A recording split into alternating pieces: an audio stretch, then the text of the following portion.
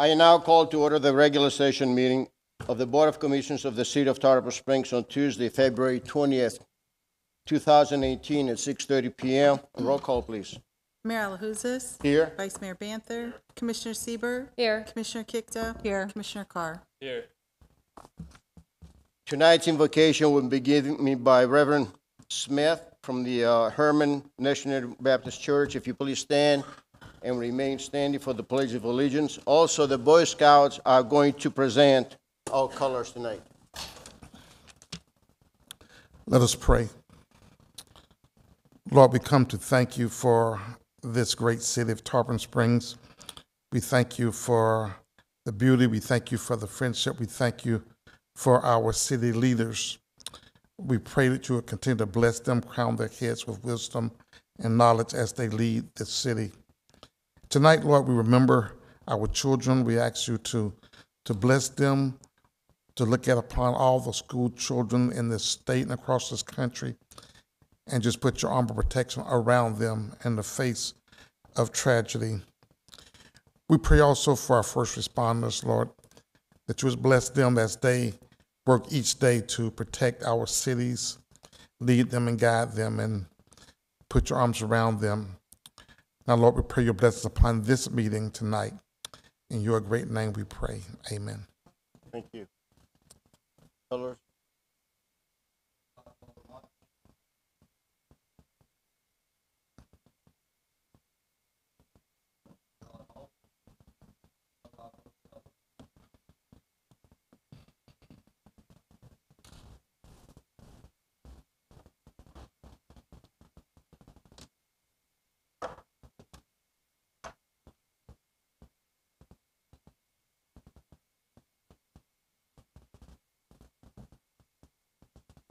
Pledge allegiance to the flag of the United States of America and to the republic for which it stands one nation under God, indivisible, with liberty and justice for all.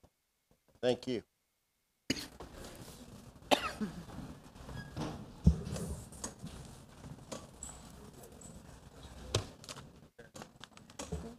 Good evening, everyone, and welcome to our commission meeting tonight.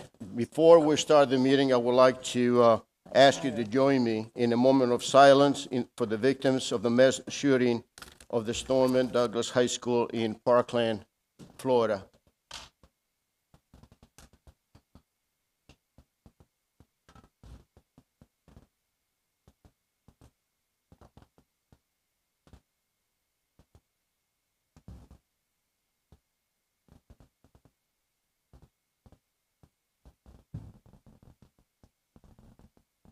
Thank you.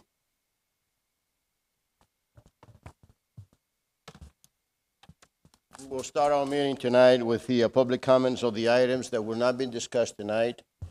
If you have any uh, comments, please come forward, state your name and your address for the record, and you'll be given four minutes. Any public comments? No comments, thank you. We go to the item number one, which is a presentation. Sunset Beach Concert Series presentation to sponsors. Mr. Dolan?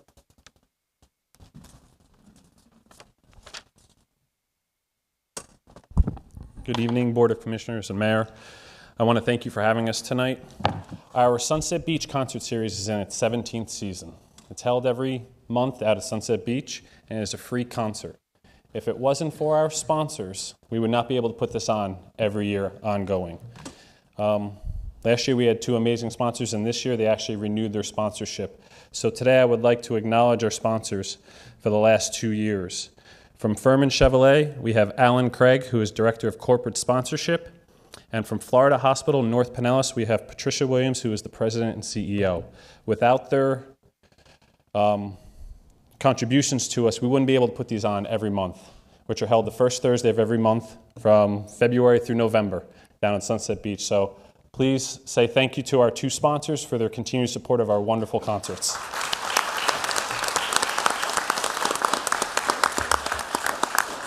Thank you. On behalf of the City of Tarpon Springs, allow me to thank you for your uh, generosity. Uh, Because of your finance help, finan- financial help, and the uh, hard work of our uh, our employees and the volunteers we were able to provide that service to the people and have uh, the uh, Sunset Beach concert. So thank you very much. The, uh, we would like to uh, present you with a presentation Ferman Chevrolet of Tarpon Springs, presented to uh, Ferman Chevrolet of Tarpon Springs for their continued and generous support of the 2017 City of Tarpon Springs Sunset Beach Concert Series. If you please come forward, sir.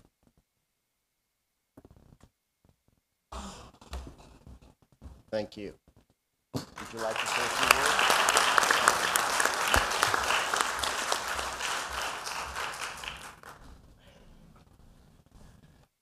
Hi, I'm Alan Craig, Director of Corporate Partnerships for Ferman Automotive Group. Um, This is a very nice award to be received here for us tonight. On behalf of all of our uh, Ferman Automotive dealerships here in the North Pinellas County, our BMW, Mini, Ford, Mazda, and Chevy dealerships, we're very excited to be part of the Tarpon Springs community. Thank you very much. Thank you. The uh, next presentation is for the Florida Hospital North Pinellas, presented to the Florida Hospital North Pinellas for their continued and generous support of the 2017 of Tarpon Springs Sunset Beach Concert Series. Ms. William, and thank you for everything that the hospital does to the city. Thank you.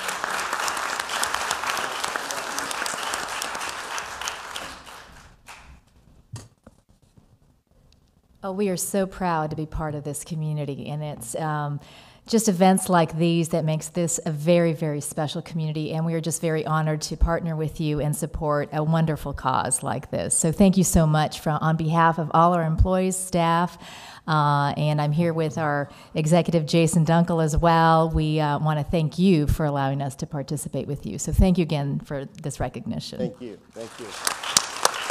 Thank you both. Any commission comments? Commissioner Sieber. I would just like to say I want to thank the Recreation Department for this job that they've been doing all these years. This is not only a wonderful and fun event, but it brings our community uh, together. And Ferman, I think, started it two or three years ago uh, with their support. Uh, and Florida Hospital, we couldn't do it without you, so thank you very much. Thank you. Are there any public comments on this item? Here none, thank you, thank you very much. Thank you for your contributions.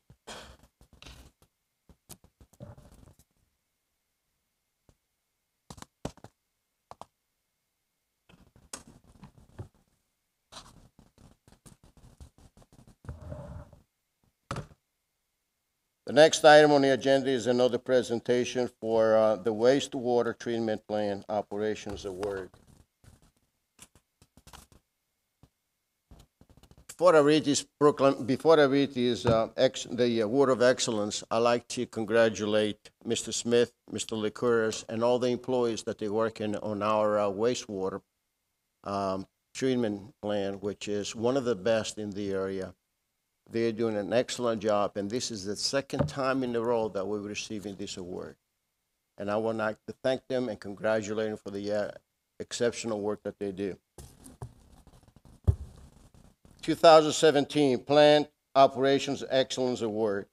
In furtherance of Florida Department of Environmental Protection's goal is to ensuring safe waste, uh, wastewater and drinking water for all people in Florida. This certificate is hereby awarded to the City of Tarpon Springs Advanced Wastewater Treatment Facility in recognition of outstanding operation through dedicated professionalism awarded at the uh, 2018 Focus in Change Seminar Series event held in Haines City, Florida, presented on sixth day of February 2018. Mr. Licouris and Mr. Smith, both of you, if you, uh, whole team.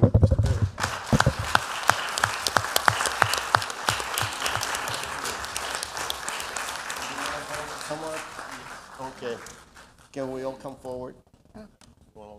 Yeah. Mark?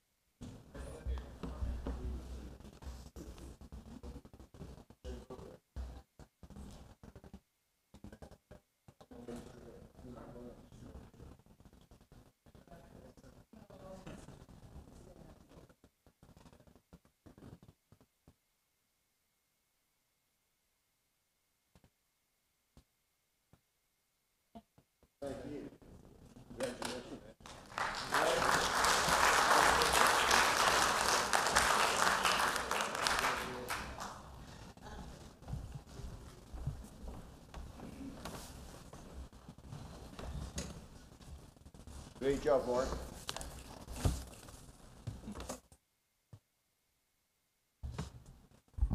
Mayor, if I may just add a few words. Of course you can. Uh, Good evening, I'm Paul Smith, Public Services Director, and on behalf of the Public Services Department, I'm pleased to see this recognition for staff in particular and the city as a whole. Here with me tonight were Raymond Page, Utility Superintendent. Ray, if you could stand, please. And also Rob Marcincic, our Chief Wastewater Plant Operator. Rob, if you could also please stand. I know who's planning to make it tonight, who was a big part of getting this award, is Frank Fulgham, our wastewater division manager, but he was unable to attend. I just want to say, though, that this team, along with our dedicated operators, is what makes it happen. But we couldn't do it without the support of our leadership, all of you up here that continuously give us good direction and support when we need to uh, get approvals for things to move forward. As the mayor mentioned, this is about an outstanding commitment to excellence, dedicated professionalism, and an impeccable history of record keeping compliance. I'd like to, to state that the wastewater plant operates 365 days a year, 24 hours per day. So I applaud the commitment, pride, and capabilities of our operators and our leadership team. And I thank you all very much.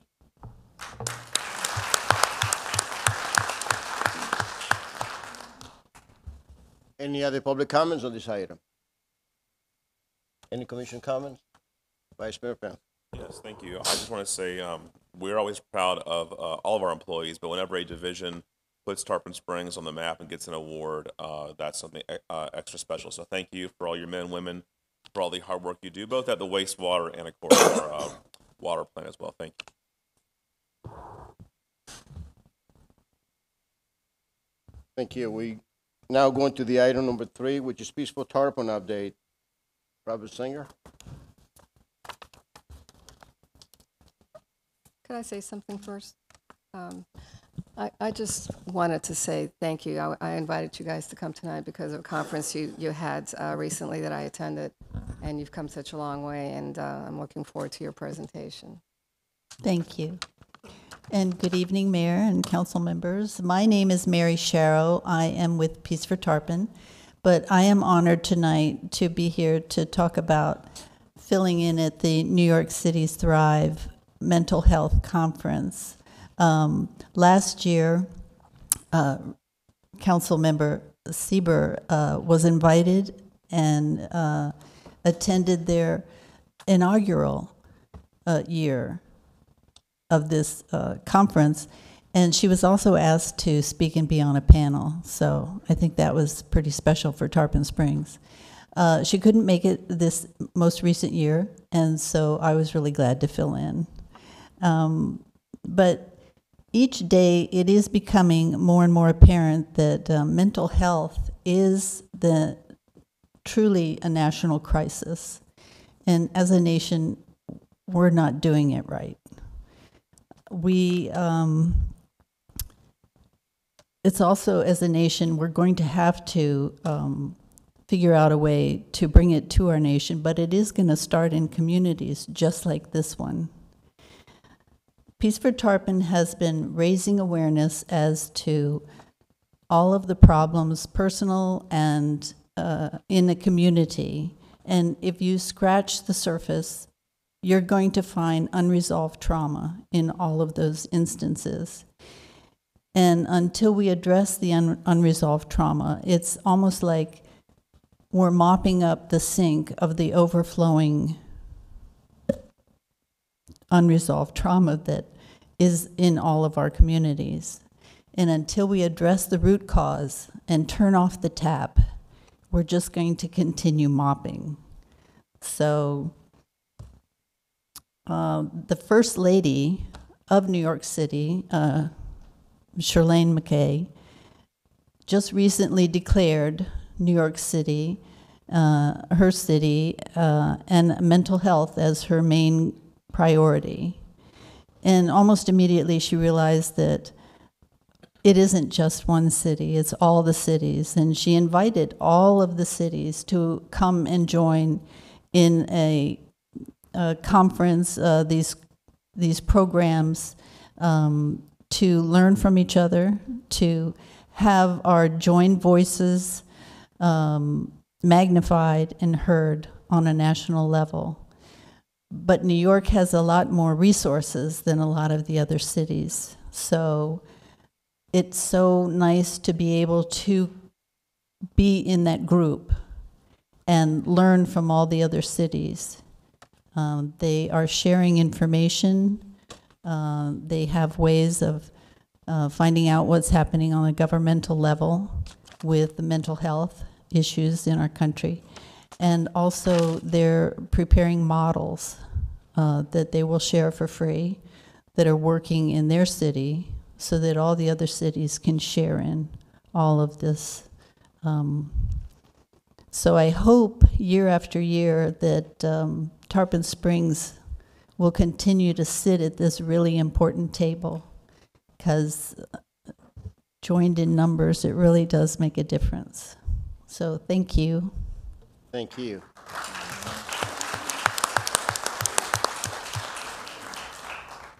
Thank you, Mary. I'm Robin Sanger. I'm the founding director of Peace for Tarpon. Uh, from time to time, I come and give y'all updates about what we're doing, and it's about that time again, so here we are. Uh, as you know, two years ago, we received a grant through the Robert Wood Johnson Foundation and the Health Federation, or the California Endowment, that was administered by the Health Federation of Philadelphia. They gave Tarpon Springs, it was an invitation only grant, and of 24 communities across the United States that were invited to apply, Tarpon Springs was one of them, and only 14 communities were chosen to become part of this MARC, MARC Communities, which stands for Mobilizing Action for Resilient Communities. And Tarpon Springs was one of the 14.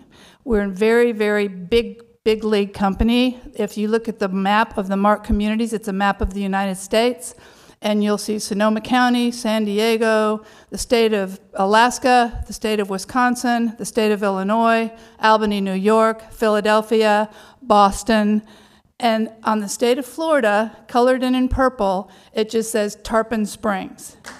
Yay. So that's a really, it's a wonderful thing. It's a great way for us to, to really be known. And I tell you, we're, we're a little fish, but, but we are very, very well known, which is wonderful. So our grant just ended, and we made a conscious decision when we received the grant that we wanted to keep two tracks going. So Peace for Tarpon wasn't going to be just about the grant. We wanted to keep the things that we already had in place and were planning kind of going along as well. So I want to share a couple of those updates with you. Two of the most exciting things that happened was uh, the University of Florida. University of Florida School of Public Health, Professor Dr. Mark Hart is a professor for public health communications. He teaches master's level classes at University of Florida. And for the past two semesters, the subject of his master's class has been Peace for Tarpon, which means that the students learn how to create active marketing campaigns for a real public health issue that are actually going to be used by the people that they're creating it for. So uh, our, the first class were 30 uh, master's level students. They created uh, social media accounts, infographics, um, PSAs, and different things. And this last semester was also Peace for Tarpon was the subject. And once again, we're the recipient of some fabulous, these students are just brilliant, some wonderful materials that they have been creating. University of Florida has also decided, because of Peace for Tarpon, to actually create a curricula for trauma informed. And so those classes are being started. We've, we've been part of the syllabus uh, process, and that's a pretty big deal as well. St. Pete College, we're also partnering with them. They're wonderful community partners, but they also have now an online course through their corporate division of trauma informed and resilient communities. So the colleges are actually creating courses inspired by Peace for Tarpon. That's something we can also be proud of. So, a couple of things that happened just recently. One was uh, there are other communities that are interested in following our model. One of them is Orange County. Uh, I was invited to present to the Orange County Department of Health Community Health Improvement Board, which had elected officials from the county, from the city of Orlando, um, the Department of Health, just a very jam-packed room full of really movers and shakers. So it's kind of cool that Orlando is now thinking of becoming Peace for Orlando. So here's the, my little PowerPoint part of this.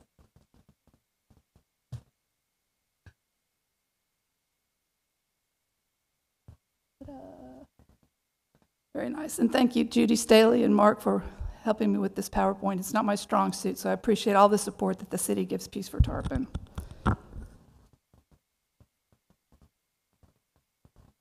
We've had the final, the reason that um, I could not, I really wanted to go to New York City, and I was so happy that Mary could go, but the reason that I couldn't go to New York City to the Mayor's Thrive Conference was that was the same date that we had the final convening of the MARC communities in Philadelphia. So that's where we were. That's Professor Hart to my right. There's me, Dr. Andrea Blanche, who presented to, before this board in 2010 when we first brought the idea of becoming a trauma informed community to the city of Tarpon Springs. Denise Hughes Conlin, who is with the Pinellas Sex Offender Reentry Coalition, and Wendy Sedlacek, who was our program manager for the MARC grant. That's Denise in front of a poster that we created. We used our symbol of the red mangrove, and of all the posters that were there from the other 13 communities, ours was the best looking. It was fabulous. and I'm not just saying that, it really was. And here you see some of the other posters in the, in the, the presentation area. And there you see Wendy, the Red Mangrove, also the, the uh, Health Federation of Philadelphia also created a marketing piece using the red mangrove. It says the red mangrove is not only a metaphor of health and vibrancy, but an example of how a homegrown resilience movement can capture local assets and something else. And then this is our most recent thing that we're very excited about was since other communities are interested in following our model, um, after Peace for Tarpon started, Gainesville contacted us. They came to one of our monthly forums and asked if they could be Peace for Gainesville, and we said yes. So they now they're working with uh, University of Florida School of Medicine, University of Florida School of Law residents, the River Phoenix Center for Peace Building, and many, many other uh, individuals and agencies in the city of Gainesville to become a trauma informed, trauma responsive, and resilient community.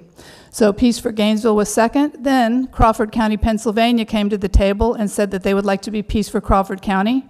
Crawford County is a big rural area in Pennsylvania, northern Pennsylvania.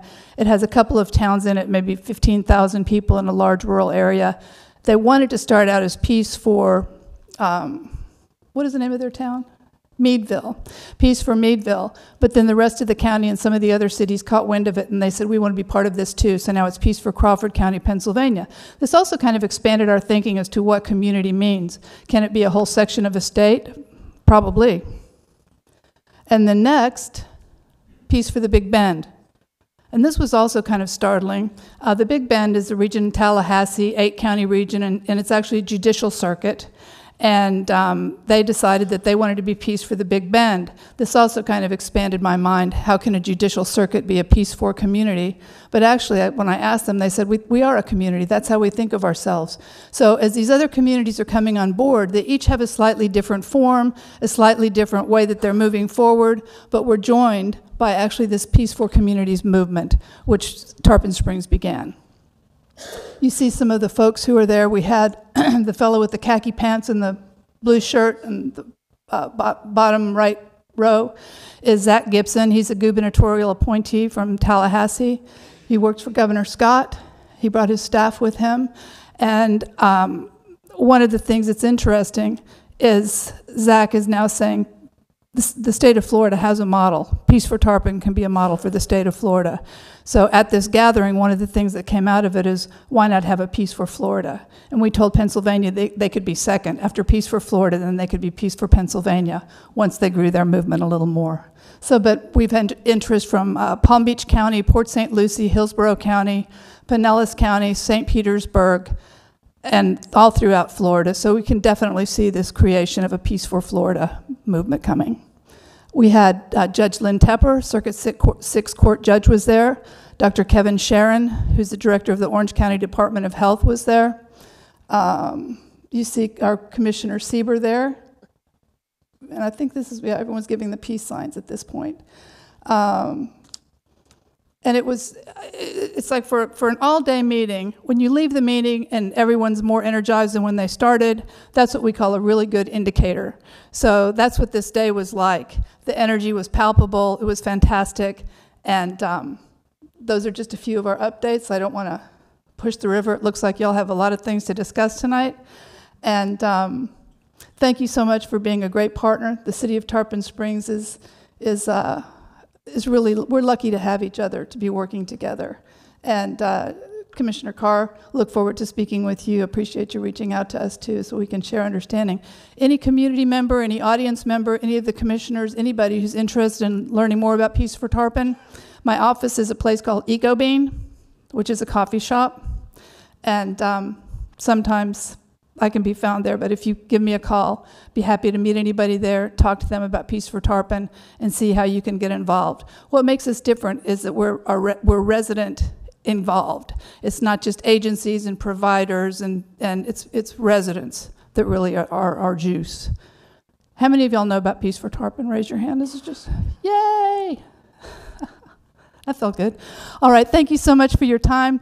Commissioner Sieber, thank you so much for inviting us to present, and you'll be seeing me around. Um, looking forward to our next update. Thank you very much. Thank you.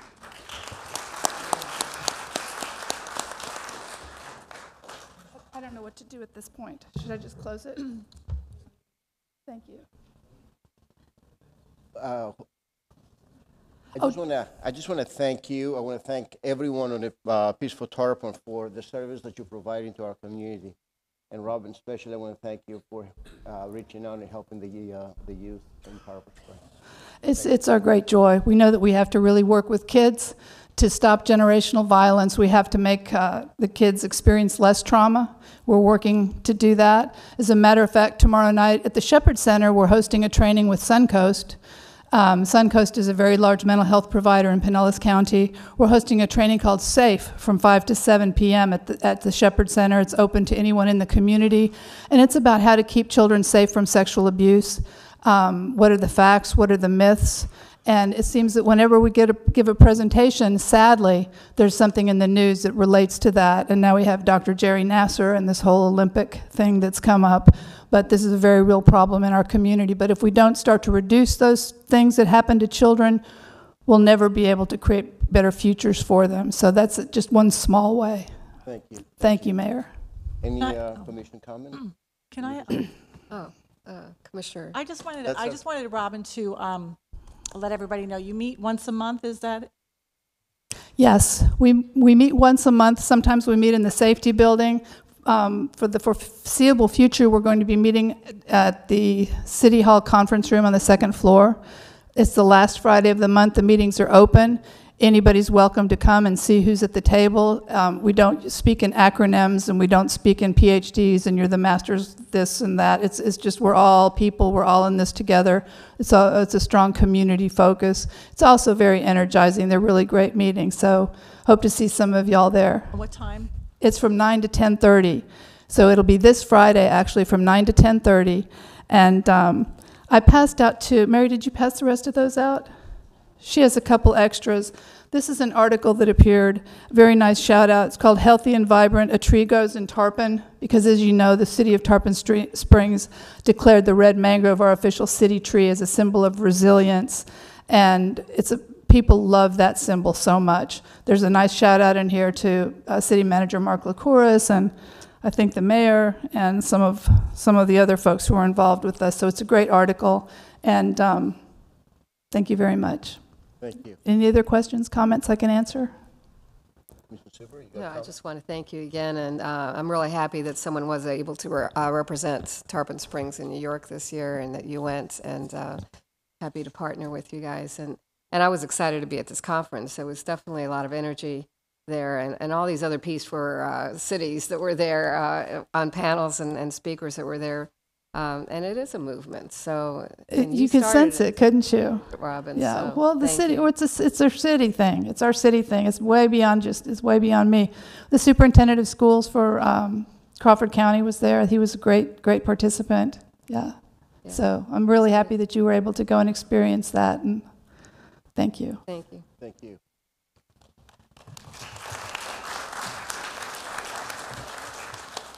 Are there any public comments on this item? Here none, thank you. We are now going to item number four, which is another presentation by uh, the Public Art Committee. Yes, good evening to the commissioners and the mayor. I'm Sherry Orr, I'm chair of the Public Art Committee. Uh, Tonight, we'd like to do a couple of items, uh, one of which is the annual plan and budget request for the coming year.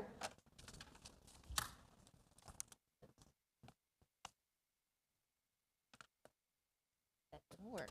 Denise, hel- did it go? Oh, it did, all right. Um, Super. Um, some of the things that we have uh, contributed to this is the plein air paint and photo. We contributed $1,500.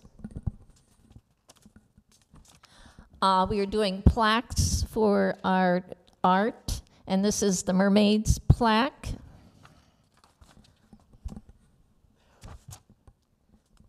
a public art sampler. So when we have uh, folks coming into our community, if they don't want to donate money but they want to create their own art, this will give them some ideas of things that have happened here. The Mother Mirrors Project, uh, as you know, we have modified that and it shows the descendants of Amelia Mears. Um, and they sure look like they're enjoying the new uh, rendition. One of the things as a result of the AMA um, Mermaid Project was that part of that money had to be donated to uh, groups 501. And um, we had folks who'd write um, a grant to apply for these funds. This is the uh, Charity Quilters Group from the Unitarian Universalist Church here in Tarpon. They create all kinds of quilts for different groups and donate them. Uh, they now have a machine that they can really get busy. Um, the um, Tarpon Springs Art Association is in its fourth year working with the Boys and Girls Club. We work with 80 children once a month and talk about an artist, and we create art using the same media. The bike racks, phase one, I hope you've seen those um, around. We have 11 that have been designed. Uh, now, this group, um, the artists did not fabricate the bike racks, they did do the designs. And it talks about five at the Sponge Docks, three in Craig Park, one at the Performing Arts Center, and one at the dog park. And here they are. Uh, there is one that is not in place at this point. We're still waiting for a safe location, uh, but that will be going up soon too.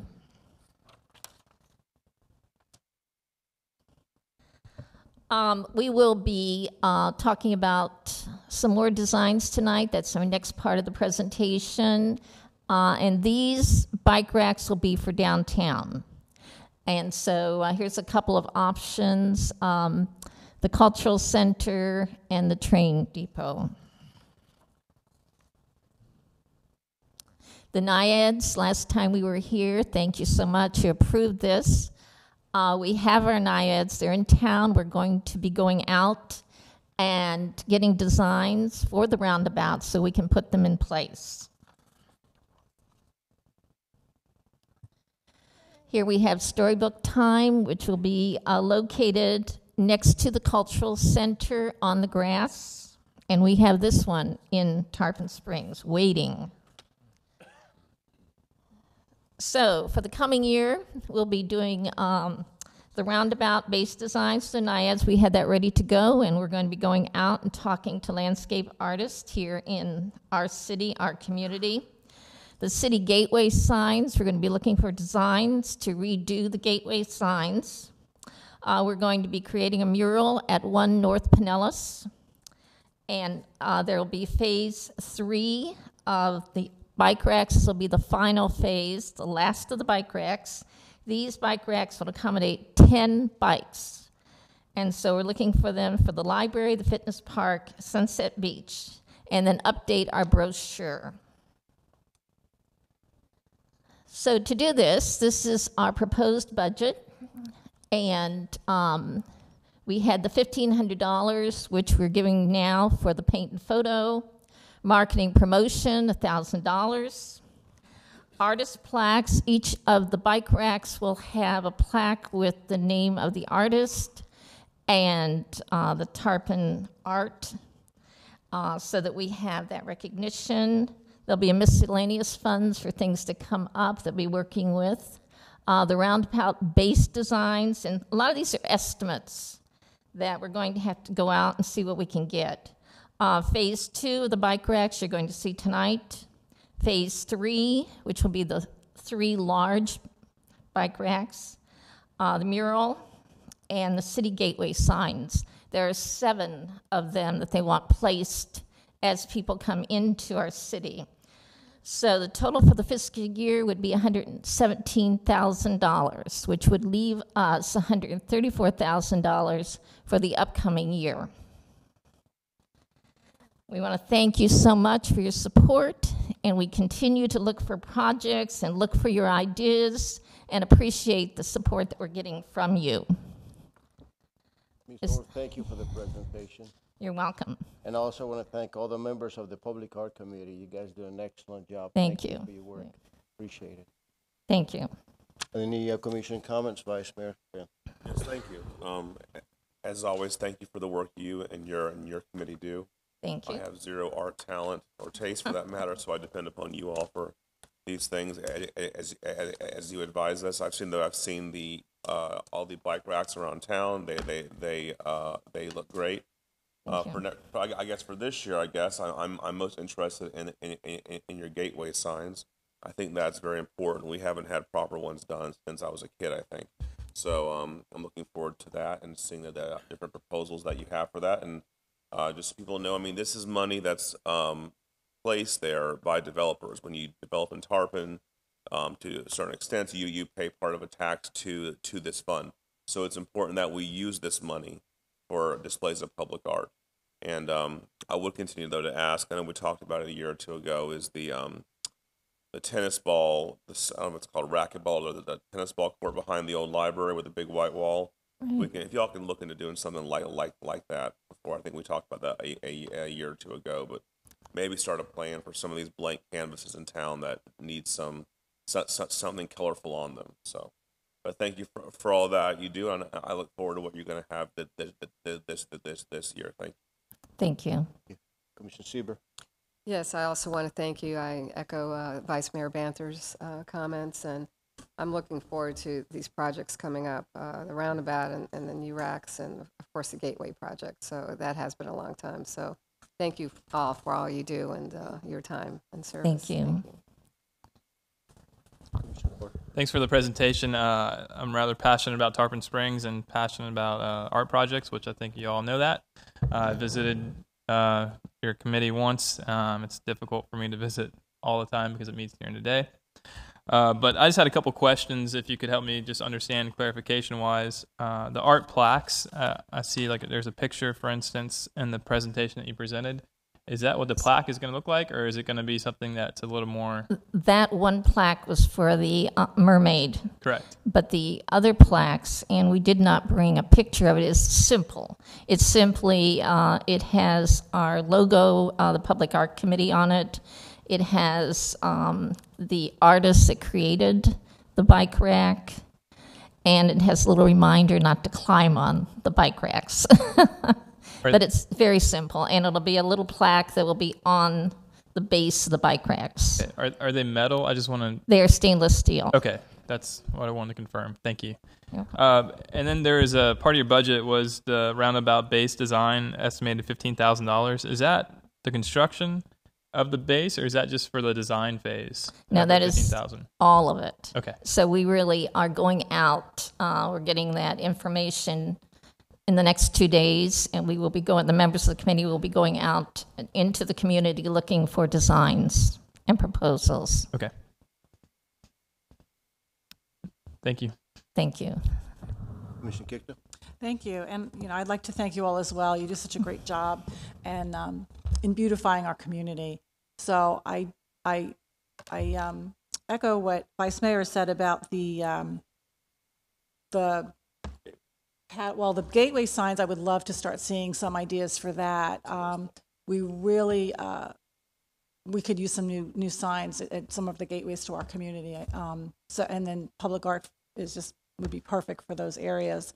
And then the uh, racquetball courts, yeah, I think we talked about that a couple years ago of doing some sort of, sort of mural on that or something. So, it- you know, if hopefully maybe we can look at that this coming year. Um, that would be, that would be fabulous. I have a few ideas that I've been trying to talk to Mark about a little bit, but I will be sending some, I've been looking at different, um, cities and, and states, actually, what they do for art. So I'm going to send some of those ideas to Mark, and maybe he can send them on to you. Just take a look at it, and you know, like I'm not an artist by any means. I couldn't even draw a state li- a straight line if I if I could, if I if I had to. So, um, but I so I, you know, I'll send what some of the ideas that I had over to Mark, and he can pass them on to you guys and and take a look. And I would appreciate that. And again, thank you for all your hard work. I do appreciate it. Thank you, and we welcome your ideas. Uh, the uh, practice ball wall for tennis, uh, that project is still out there. I, so we are still working with that concept um, so that it has not been forgotten. Mayor, Mayor, can I, I, I forgot to mention one thing too, and I know that um, a mural project is on here as well. And one thing I mentioned, I think you weren't at your meeting, I think you're out of town, was when I was there, I was looking at um, some type of grant that we could do for the business owners. That, for instance, we don't, as a city, doesn't come through and pay for the whole mural project, but to say a business owner wants to do a mural project on their building and have a little bit more of a decision, or they want to maybe put more money up for it or something along those lines. Uh, that would be a neat opportunity to see the city partner with some local businesses um, to encourage additional artwork on a lot of these larger buildings that we have that are just blank canvases. Um, so that would be kind of a neat project to see as well in the coming years. Uh, not just the art committee taking it on, but also uh, um, partnering with our local businesses through a grant of some sort to encourage um, the businesses to do some more artistic items on their walls. And we would welcome that partnership. And we are looking into some grants for us as well. Uh, so all of those possibilities are out there. And so please send the ideas to us so we can find out more about them. Yeah, thank you. Again. Thank you. Thank you. Ms. Sawyer, you have anything that you'd like to add? No, it's just that we welcome your ideas. Uh, you don't have to be an artist to have creative ideas. Um, and we're trying to, and we're talking about the gateway signs. Um, our whole committee split up, and we've been studying gateway signs all over the United States to gather some ideas and uh, put those out there as um, generally ideas. And so it won't be long before you'll be seeing some of our concepts, and we'll be looking for your feedback as well. So we have a lot on our plate, but we're looking forward to seeing it happen, the reality. Yes. Again, thank you for everything you guys do. Thank You're you. fine. Thank you. Are there any public comments? You want to say something? I just want to see if they want to do a second part or. We're do the next part Oh, now. we also have another item on the agenda, which is item number uh, 20, to approve the, uh, the bike rack. What the plan was for them to do in presentation form, and then, of course, it's a vote item, so then it comes to a vote. Um, You can do it either way you want, the- then the backup with the presentation. What we've done is heard the presentations before, and then you go to the actual vote, since that's something you have to vote on. Is it now or later? It's just the backup, it's the second part of this presentation here, but you So can do it any way you want. Vote on it now? Let's do that now, yeah. All right, so we will show you uh, phase two ideas and then um, consider what you want to do in making that decision. Uh, this is phase two of the bike racks. And um, originally, uh, we were going to build 10 bike racks and uh, for $50,000. Uh, we were able to get 11 designs and fabricated for $24,882. And then we put those out around the city, but uh, looked for historic designs, uh, which would be paid for the balance of that $50,000. Uh, and then there'll be the additional three bike racks, which we'll come back to you about the library, the fitness park, and the Sunset Beach. So this is the second half of the first phase.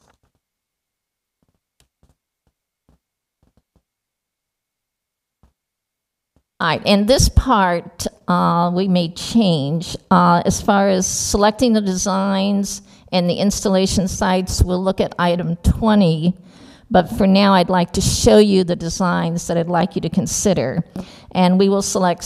We'll ask you to select six designs from the eight that we have, um, and the places that we have designated uh, are the Cultural Center, the Community Garden, two at the train depot, two at the small Tarpon Avenue parking lot, one near Tarpon Avenue, and one near Tarpon Tavern.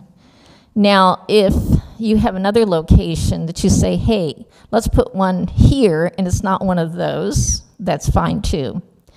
Uh, also, if you love one of our designs, and you'll say, well, let's just duplicate that design and use that design again.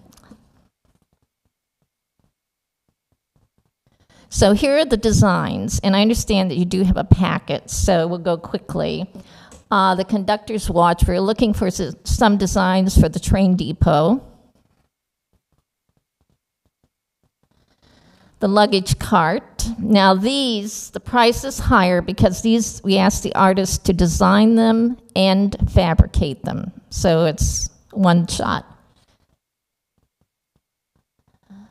The steam locomotive. So those basically are train depot. And then some Victorian designs, this high wheeler bike, the parasol, skeleton keys, birds in flight. We were trying to consider something that might be good for the community garden. Victorian lace.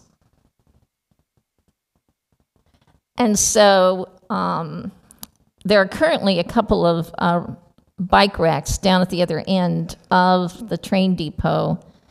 And in fact, the other day when I was driving through, they were just jammed with bike. People are climbing over each other to get to their bikes. And then uh, these two areas, just by the uh, restrooms area, and then Tarpon Tavern in that parking lot area. The cultural center, maybe something down by the road, that's a pretty wide space. The community garden, one of the bike racks. So, uh, these are eight designs, and I'd like you to consider six of these designs and the sites, but we're not going to talk about that now, if that's okay. We'll wait until item 20. Is that all right? Since we already have you here, maybe you can guide us and we do the selection right now. Oh, we can do that. All Okay, right. So you don't have to wait. Okay, Well, you still have to vote on it in We, we vote on it, yeah. we can do that. All right, do you want me to go back to the beginning of the designs? Yeah, if Or- you start from the You have a sample of them, If you start with the uh, conductor's watch, all right? and then we, uh, Public comment Get a fall into play, consensus or on what do that, we? yeah? How does public comment work for something like this? I'm sorry. How does public comment work for an item like Select this? first, and then we uh, get the public comment. Okay. All right, so um, remember, you have a choice of sites and you have a choice of bike racks. So one of the areas that we're looking for bike racks was by the train depot. There are three designs. The luggage cart and the steam locomotive. Okay. Those were given. Now, And it- huh? Can we hand, hand these into the art committee and then have them You can do it several ways. You, you can vote, here. the, con- here? the consent agenda item is to approve the project. You can, Okay. you can decide now, you can decide later, say you want to look at it more and decide later. You could, you give a consensus. Again, you've asked the art committee when they do these things to bring it back to you for input. So you ne- don't necessarily have to, you can still approve it in the in the special consent item in concept, and then if you want more time or thinking or more input, you can always do the actual, this one goes there at a later time. Um, we'll be looking in the agenda item again for the approval for it, but if you have them from looking at some ideas tonight, you can, or you can do it however you want, so. Can we It's your just give a choice if you list wanna of take what some we've more written time. down? I mean, I, I have a list of what bike racks where. If- Could we just give them the list? Give them our of- list. Yeah, of what instead we're of interested Sure. in. Taking a, a tally of everybody. You could, but. I think that's But what we just the did the thing is, last you gotta time. vote, you know, a tally doesn't mean the vote of, you know, when you get the consensus for the vote, so yes, you can. But you actually have to have the vote, the official vote, uh, when you go to the other item. Okay, let's just, uh, uh, wha- what's the consensus? To do it now, or you wanted to submit it later? Huh? And we would accept an email uh, as well if you each wanted to give some thought to this and email us and let us know your locations and which bike rack you think should be in that location, if that would be uh, a valid way of doing this. That way? Yes, yes, let's do that. All right, so do you want me to go through them, or you, you have them in front of you? You I already think? have it. Backup, we're We'll just just pretty do much all set. Do we just need to All right. approve it? Well, we thank you for your support, and uh, we look forward to seeing more art in Tarpon Springs. Thank you. Thank you. Thank you. You're welcome. Are there any public comments on this item? Mike, Mike Kiskuda, 623 East Avenue. Excuse me. Um, I, like Commissioner Banther, am, am far from being an artist as, as anybody, but I do enjoy the art this community has. Um, couple comments. You know, uh, Commissioner, you mentioned the mural art and doing a cooperation with business communities. When I was in Glasgow, um, every bare wall actually had a mural, it seemed. And, and there were just beautiful murals on, on, these, on the walls uh, or side of these buildings. So much so that it actually became a tourist attraction where people would go from building to building just to, just to take pictures and see the beautiful murals on the side of the building. It was just, just stunning. Um, but, but that's not why I wanted to come up and comment. Where as much as the entrance of Tarpon is important as inviting people into our community, um, some of the major thoroughfares coming into Tarpon, um, the, the properties themselves, and I know, you know, we, there's so much you can do as far as code enforcement, et cetera, but some of the properties actually need to be more inviting into your entrance into Tarpon. You know, I, and I and I appreciate the fact that somebody's financial resources may not be there to keep their properties where they need to be, but some of them are actually institutional properties. I'll give you the example: the Verizon building.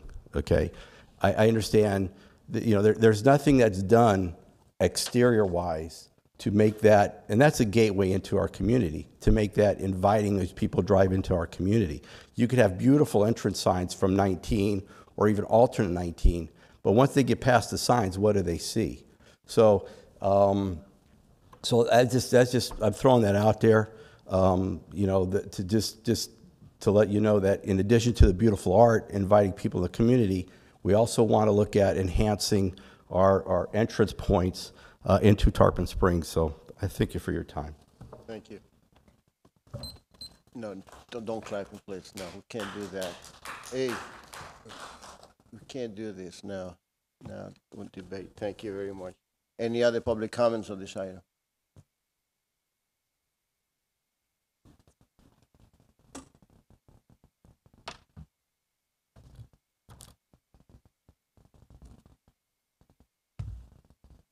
Can move I don't on. think she's gonna. Ma'am, we asking for public comment. She's, she's, doing- She's she's, taking she's our it staff. You going, okay. Okay, just turning it off? Yeah. Do we have any other public comments on this item? No, thank you. We are now going to the uh, consent agenda. Item number five, satisfaction and release of liens. Number six is the attorney fees invoice. Fifty-five, five fourteen, special events is number seven. A, uh, seven A is Fine Arts Festival, March twenty-fourth and twenty-fifth, two thousand eighteen. B is the Garden Club Flint sale, March thirty-first, two thousand eighteen. Number eight is to reject all bids submitted for bid number eighteen zero zero forty-nine dash B dash JJ Craig Park Seawall Restoration. Number nine is reject bid number eighteen zero zero fifty-two dash B dash RS Process Control Monitoring System. And number ten is the award file number eighteen zero zero eighty-eight dash B dash RS Single Source Purchase of, uh, Process Control Monitoring System.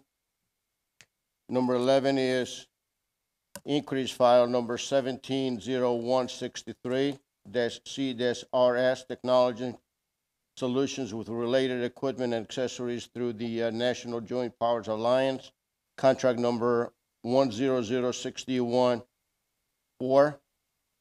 Number twelve is increase file number seventeen zero one two three CCM Euro utilize the National Joint Powers Alliance Control Number one two one seven one five, floating with related equipment products, supplies, installation services. Number ten is ratified equipment with uh, International Association of Firefighters Local forty-nine sixty-six. Number fourteen is to approve job description for paramedic driver engineer. Number fifteen is author, uh, authorized execution of a memorandum excuse me, memor, uh, memorandum of an agreement regarding Everbridge, uh, notification system. Are there any items that you'd like to pull? I just have a question. I'm sorry. Um, not pull, I just want to make a comment on item number thirteen. Number thirteen, a comment, uh, did you say, you wanna pull something? I just had a question also for clarification on item number nine. I don't need to pull it there. Well, you wanna go first since it's number nine? Sure. Um, it, the recommendation is to um, deny the bids, and I just wanted to know it because this pertains to the wastewater treatment plant and its monitoring system. I just want to know what the next step is. Uh, I know the bids came in overestimated, um, so I, just what's the next step to make sure we get this product and continue to our award right that we got tonight represented. Yes, thank you. Uh, Paul Smith, Public Services Director. So item number nine, originally, we were going to go single source, and another vendor, when we advertised our intent to do that, said, I can also do it. Through the bid process, it was discovered they actually couldn't meet our requirements. So, so number 10, to answer your question, is the follow-on step. Okay. We went back to the drawing board, found out what we needed most critically, and we've got that in front of you tonight on number 10. Perfect. Thank you. Thank you. Number thirteen, you have a question or comment? Uh, I just wanted to comment, and um, Fire Chief is here. I just wanted to congratulate the firefighters and the union for coming to an agreement. We've ratified the contract, and um, everybody's happy. It took, it was, uh, took some time to come to an agreement. They had many meetings, um, but they, they finally all agreed, come together, and uh, thank you for all your hard work, and please thank every, you know, everybody for us. I appreciate it. Thank you. Any other comment? I'd like to pull number 18. Number eighteen? Number 18 's in there. We don't have anything. Oh, sorry. I'm not here tonight. Five to fifteen, Yes, You okay? I'm good. Okay, good. Motion. Are there any public comments on these items? Here none, uh, entertain a motion, Approve. Second. roll call please. Commissioner Karr? Yes. Commissioner Kikta? Yes. Commissioner Sieber? Yes, Vice Mayor Banther? Yes. Mayor Alahouzos? Yes, thank you. We are now going to the uh, special consent agenda. Item number uh, sixteen is request to settle administrative fine. Orlean for, uh, three hundred sixteen East Boyer. The city attorney will present this item. Thank you, Mr. Mayor, Commissioners. You've received Tom Trask's memo dated January 31 of 2018 regarding the property at 316 East Boyer. Um, As of January 18, 2018, you have a principal due of $38,415.24. Uh, We've been negotiating a settlement um, in order to avoid litigation at 22,214, and uh, we do recommend that that uh, amount be adopted by the board. Vice Mayor Banther? Yes, when you, when you feel, um, that it, that it's appropriate, I know someone in the audience want- wants to speak, that, that, that, that's, I know that we allow that. I will ask for public comment. Mhm. Any comments, do you? No, Not, not, not, not, not, not yet. Any, uh, commission comments, recommendations? Commission Karr? Um, I, I think everyone knows pretty clearly that I've um, I find these to be interesting situations. Uh, we've got two other applications on this um, agenda as well that are in similar situations. Uh, I don't understand how we determine. I mean, do we just wait for the applicant to make a suggestion that we offer X amount of dollars, and then at that point we negotiate, or Mr. Attorney, or is it where, where do we go from that? Because I'm looking at this, and there's a 42% reduction off what the fine amount is, but then the other ones that we're looking at are 78% off the fines. So I'm just trying to understand a clarification, I suppose. Yeah, I appreciate your question. Uh, this particular one is a little bit different from the other two. The other two on Gainesway and Tukes are proceeding under a policy that you all have adopted, this board adopted at some point in the past. I think it was in the 2008 range. Uh, that policy was largely in response, adopted in response to uh, foreclosures and properties falling into disrepair, et cetera. That's one we've been proceeding under for a while. Uh, that policy accepts certain types of circumstances, which covers the one that you're reviewing right now, which is number 16. Um, this one uh, went through Tom Trask because it, uh, it was a straight negotiation uh, to avoid litigation. So it's a little bit of a different factual scenario than the other two. Okay. Thanks. Thank you.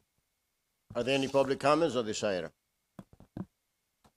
Please come forward, state your name and your address for the record.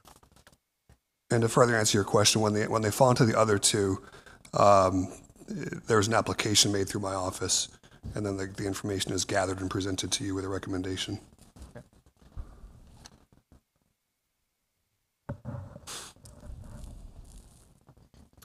Julie Holt, 38868 US Highway 19 North Tarpon Springs. I am not the owner of the property. I'm the person that's lucky enough to be the person that helps translate for the owners of the property. This gentleman is the property manager. My name is Rami Nassif. Um, I'm with Infinity Realty. I'm the current property manager for that property that was acquired um, on February 2017 up till today. The main reason that I am here is the owners of the property are quite concerned that there is a perception that they are not good property owners. They inherited a property that was in disgusting condition. They purchased it, they did due diligence. We ordered a Tarpon Springs assessment search, which showed no code enforcement issues, no recorded code enforcement violations. Since the day they got it, they have been working to improve the property. They put in place a live in person who would check on it every day. They have cleaned the property. They have fenced the property. They have painted the property. They have removed, I guess you would call them tenants, that they inherited. They have worked diligently hand in hand with the police department. They are concerned that they are perceived as slum landlords. I have assured them that that is not the case, but for some reason they feel that maybe they would have been treated differently by the city of Tarpon Springs if they were from Tarpon Springs, or even worse, the statement to me, Greek. I have assured them that that is not a problem in Tarpon Springs. They are ready to invest a lot of money into rundown buildings in Tarpon Springs. But now they are hesitating because they feel that maybe they would not be welcome. The reason we asked for a reduction in the cost of this fine was three or fourfold. We were being fined so much a day while the eviction process went through the court system, something we had no control over. We evicted one tenant only to be told later by Gasson it was the wrong tenant, that he really meant the other tenant. So we've had issues, but every time the City of Tarpon Springs Code Enforcement has come to the people, they have immediately reacted. in a positive, pro city stance. We are asking for a reduction because they inherited problems and they have worked diligently to improve the property. And the commissioner is correct. Some people's fines get reduced 78%. The only thing they removed from ours was a portion of the fine while the eviction process went through the court system, something we had no control over, and then we were visited by a hurricane that delayed us even further. Your consideration in this matter would be deeply appreciated by the owners. They're just looking for validation of what they have been doing is correct. I will turn you over to Rami. He promises to speak slowly and clearly. Thank you, ma'am. Thank you. I just want you to make sure you understand that uh, person's nationality has nothing to do with our decision here tonight. I have reassured them that Okay, thank you so a much. lot of times. Yeah. Um, uh, well, I've been into this room actually a couple times, and unfortunately, um, when the owner had received the paperwork that there is an issue at that particular property with a couple of the tenants, the paperwork they had received it did not really show what do we need to do to cure the problem. It stated there is a problem there that a couple of the tenants are not they're not supposed in that neighborhood. Um, it didn't give us a clear direction what do we need to do to get those tenants out of there at that time which was march of 2017 that's less than 30 days after purchasing this property.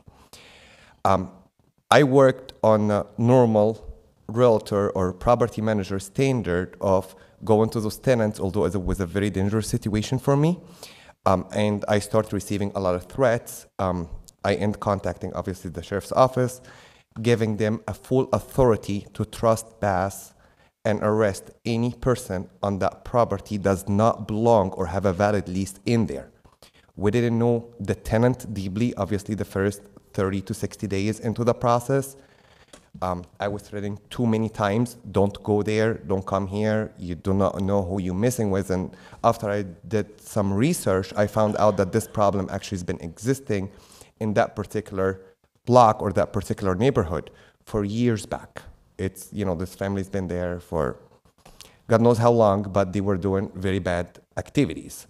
Um, at that point, I got the clear directions from the property owner that does not live in the state to do everything I possibly can do to get those tenants out of there. Um, contacted code enforcement, contacted Mr. Gasson, obviously because we are aware that we need to do something. It's just I wasn't 100% sure what do I need to do, and the paperwork didn't specify get this tenant out. No, this tenant is related. Get that tenant out too. Uh, therefore, I had to hire an outside servicer to protect my identity and to protect that I'm the guy that's going there and telling those people you need to go. And it took quite some time for them to get into the proper paperwork. Unfortunately, we didn't know that we have a time frame of two weeks to file this eviction till two and a half months later. So through the phone calls that's been logged on, on all the county records, yeah, you need to work with the city, I'm sorry. Um, yeah, we understand that you're cleaning the property. We're so happy that you're painting the property. We're glad that there is a new owner in place that's, you know, fixing the problem. I was never once told, but remember, you have two weeks to get those tenants out of there. It's even on a normal day, it's very unrealistic to evict a tenant within two weeks of an order. So we've been fined for about three months without even knowing really what do we need to do except getting them out. We weren't aware of the time frame. We, we weren't given clear directions that I need both of them out. All my email trail between me and, and code enforcement, it's just like, what else do you want me to do? Oh, go do this also. Um, it just happened that we got another violation in the month of July that I brought in the handyman person that we had put into that property came to the city hall. That violation was cured right when we got the letter. So when we came for the hearing, it was already clear that morning within less than a week. And that's what I was told. Remember, you are being fined $250 a day because you haven't filed eviction. Like, I, we weren't aware of that. You know, there's seven or eight times that we had called. We weren't told that we're being fined. We were told, clean the property, get the bad tenant out of there. So obviously, immediately we took the actions, got hit with Hurricane Irma. Pinellas County Court obviously was backed up, and it took good five to six weeks, I believe, to get the final position that we end getting, you know, some help from the sheriff's office to protect me to go take possession of those properties. Police department. Yeah, I'm sorry, police. Thank you very much. Thank you, sir. Thank you. Thank you, you finished. Thank you. Are there any other public comments on this item? You hear none? I need a motion. Before, you- before you move on, I want to make clear to the board that uh, this is a negotiated settlement between Attorney Trask and the property owner and the property owner's representative. I had no, all the information you just received is water under the bridge, so to speak. That My, my office has been negotiating with property owner. This is the amount that was mutually arrived at. Uh, We didn't recommend this. This was what was determined between them. So they agreed to settle for this amount? Yes. Uh, Mr. City Attorney, I also like to, uh, we need to revisit this process. Well, we need to take a look at that. I agree with every fiber of my being, sir. Thank you. I need a motion. Motion. To, to accept the offer from the owner in the amount of twenty-two thousand to, to, to fourteen. Second. And roll call, please. Commissioner Karr? Yes. Commissioner Kikta? Yes. Commissioner Sieber, Yes. Vice Mayor Banther? Yes. Mayor Alahouzos? Yes, thank you. We are now going to the item number 17, is the request to settle uh, administrative fine and liens at the, uh, for the 9,000, excuse me, 905 Gainesville, uh, Gainesway Drive. Thank you, Mr. Mayor. As you mentioned, uh, property at 905 Gainesway Drive, you received my recommendation and report.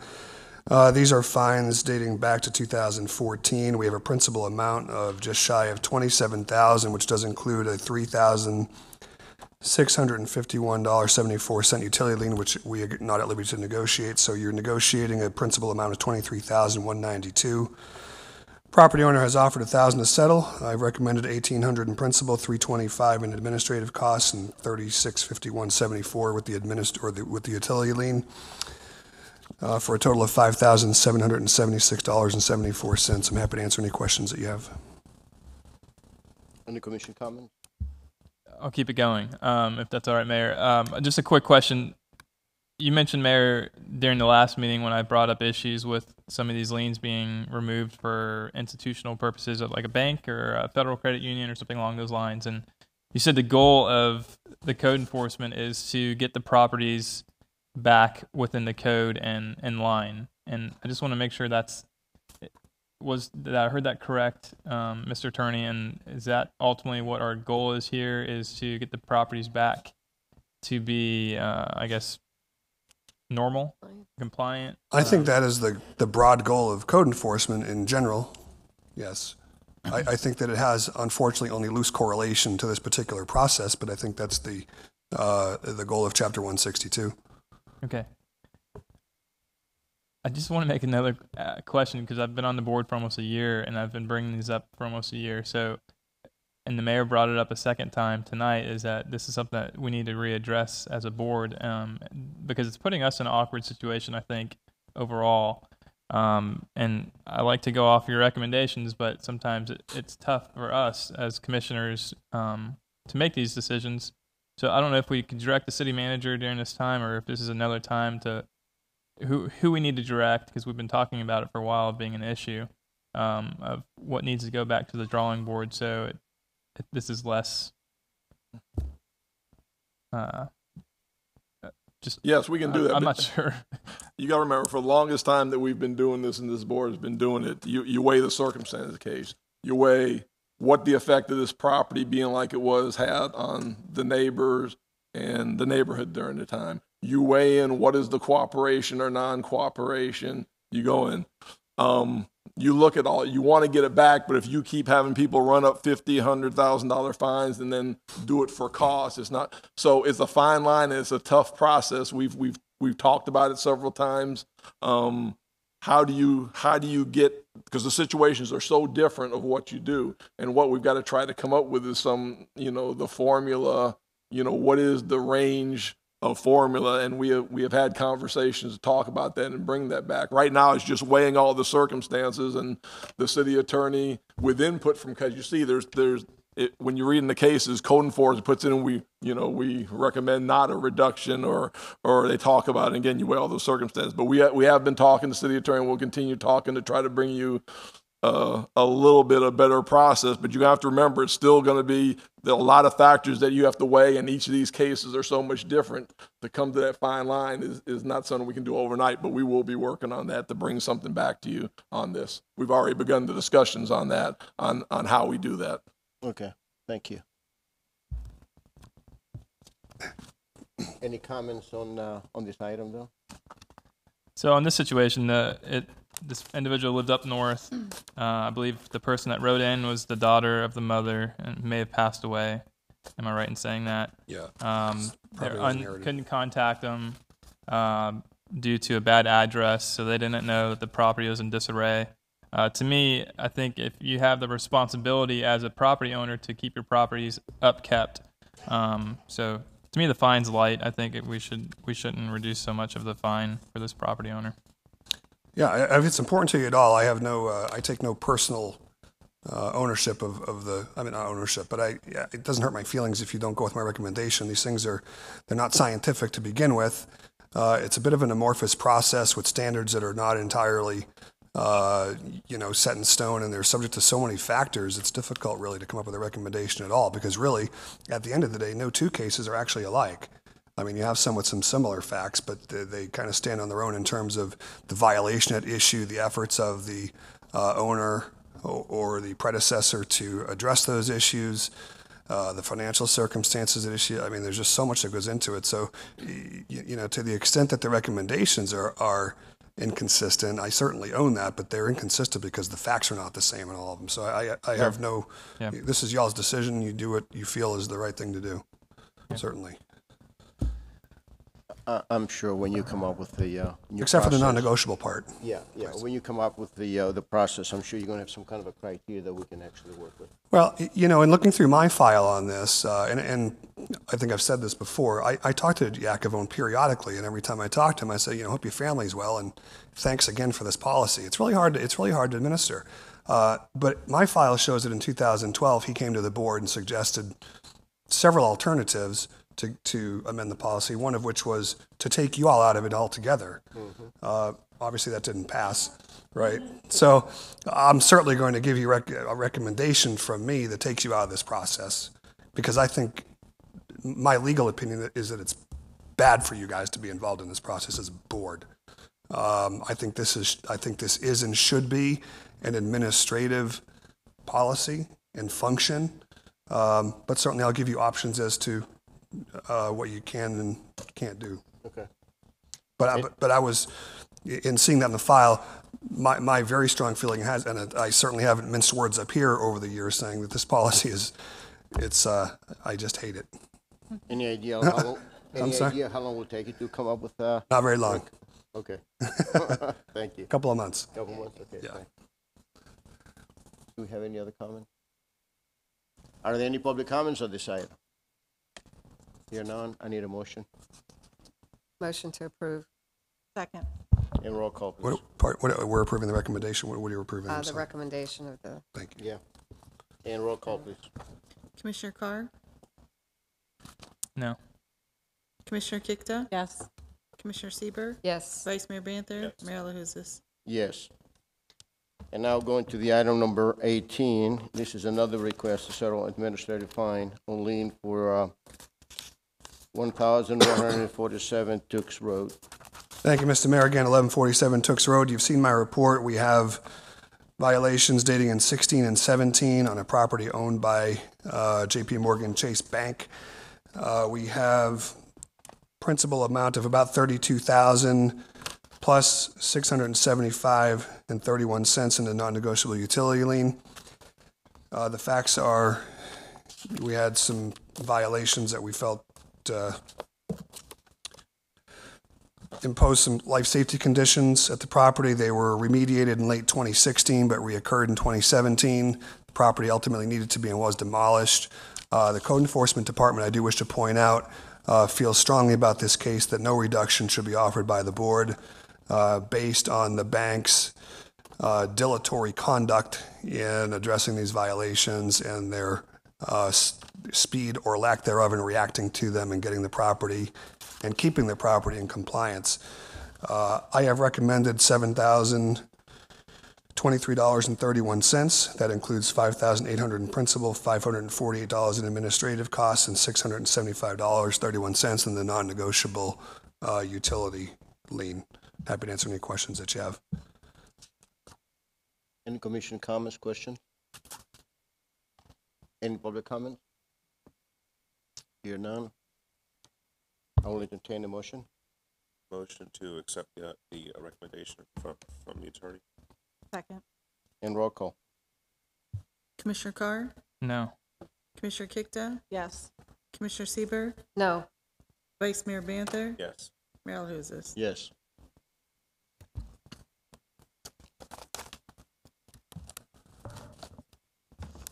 Thank you. We're now going to the item number nineteen, is to authorize city manager to execute a grant application for a wastewater treatment plan.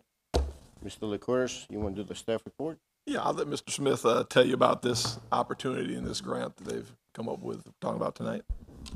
Thank you, Paul Smith, Public Services Director. This is something the city manager looks for us to do, which is look for grant opportunities. Um, this helps us stretch our budgets further.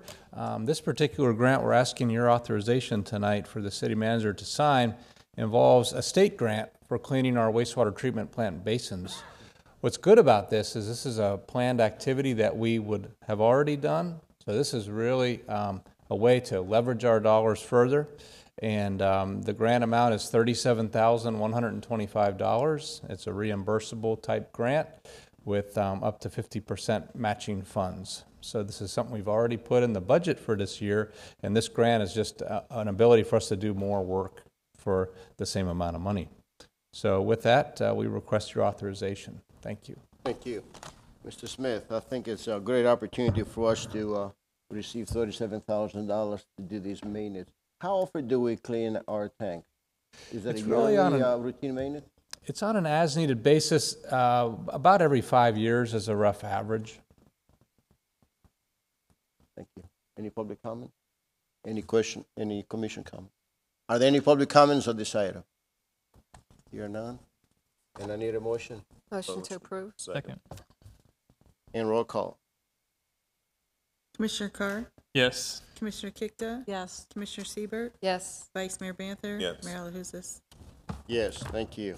Mr. Smith, thank you. Thank you. Item number twenty is the, uh, is to approve the, um, the bike rack installation phase two. Uh, this is related to the item, to the presentation that we had earlier from the, uh, Public Art Committee. Yes, and what I'd like you to do is actually approve, and then if you have your sheets, either that or email me. I'll get, I'll get them to the art committee and we'll move forward with the project. Okay. Any other comments? Any commission comments on that? Thank you. Any public comments on this item? Hear none?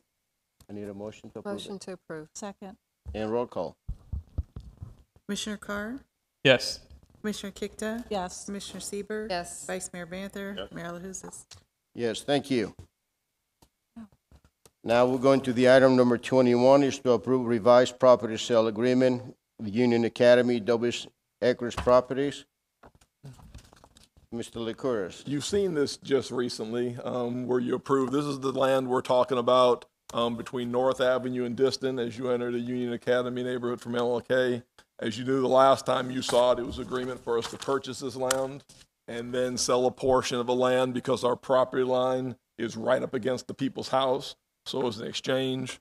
What we found out after you approved it was that we could not get clear title to it because of an old um, child payment lien that goes with the property, so it doesn't go away. So therefore, the city, you know, can't purchase properties that you can't get a clear title on. So we went back. Um, again, the property owner needs that land. So what we agreed uh, was to sell that land as we had done before. We did it. We were able to add a couple more feet to it. We get 13 feet. Um, in exchange for that, they'd give us a, a 30-year municipal easement to utilize the land for the same purpose we can do as an entranceway feature of landscaping, maybe a sign entering the Union Academy neighborhood um, at no cost to us. So, so we save the five thousand of purchase price. We get to use the land for beautification on our entranceways to Union Academy neighborhood. They get the relief from the from the property line being up against their house, and everybody is happy. It's just a revised of what you see because of that lien that does not leave. It was about a thirty-five thousand dollar child support lien that does not leave the property, and we didn't want to take possession of that. So this is the alternative to get where we wanted to go uh, on it. So I'd ask you to approve that tonight so we can go forward with that. So the Curtis, this is a win-win situation. The owner is going to, uh, uh, resolve the issue that it has with the court enforcement. It's going to be fifty, hundred bucks, but also will give us the property for thirty years. Yes. The question that I have, maybe to city attorney, can the buyer at some point change his mind and ask for the property back? No, For the, the thirty years. the easement is not, is not granted that way. Okay, thank you. Any uh, commission comments, questions? Any public comments on this item? Hear none? Need a motion? Motion approved. Second. And roll call. Commissioner Karr? Yes. Commissioner Kikta? Yes. Commissioner Sieber, Yes. Vice Mayor Banther? Yes. Mayor Alahouzos? Yes. We now go into the item number twenty-two, which is the ordinance two thousand eighteen 5 Heritage Museum History Win in honor of George Billiris.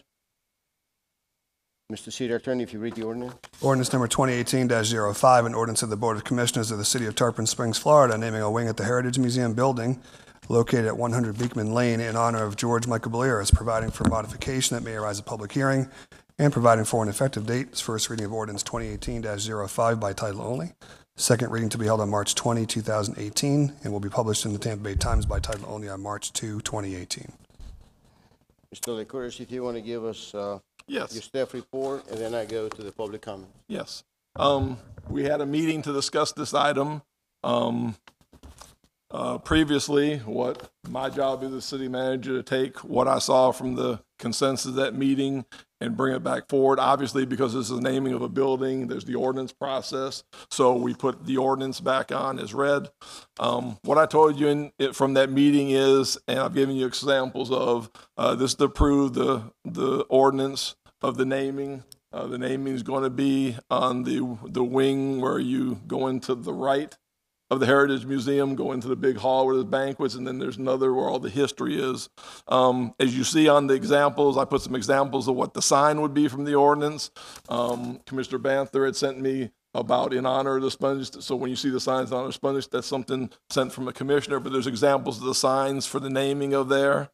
Um, also, the big discussion at that meeting was what do we do about the others, the founders, the divers and stuff? And what I'm telling you in this memo going forward and approve it, that I'll ask um, Diane Woods and Tina Bucuvalas to look at the inside of that for the room where the history is, to look at some kind of, of either names on a wall or something that, that we can honor all the families of the sponge industry from founders to divers and, and have a memorial within there on that. And so it's kind of twofold along with, with the ordinance.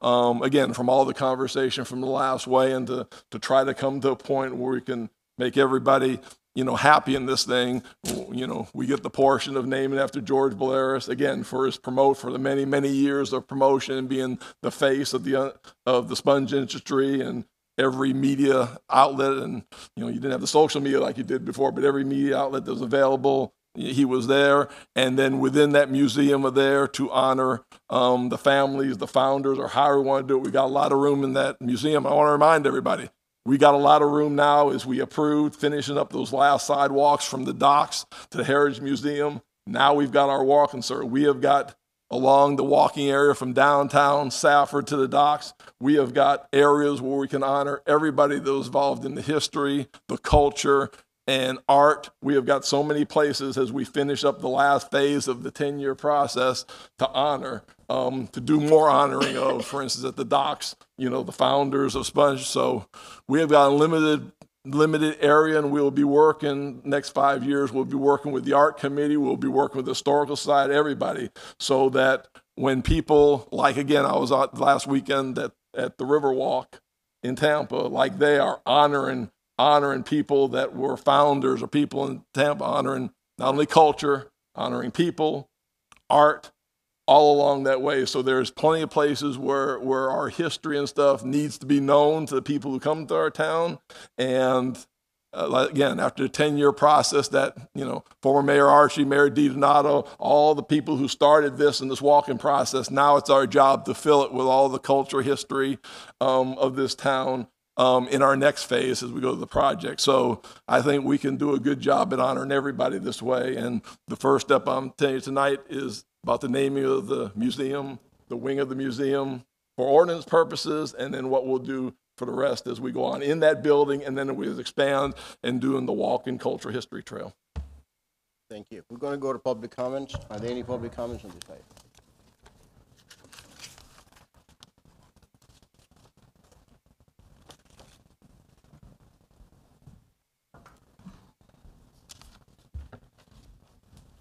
Mike, Mike Cascuda, 623 East Tarpon Avenue.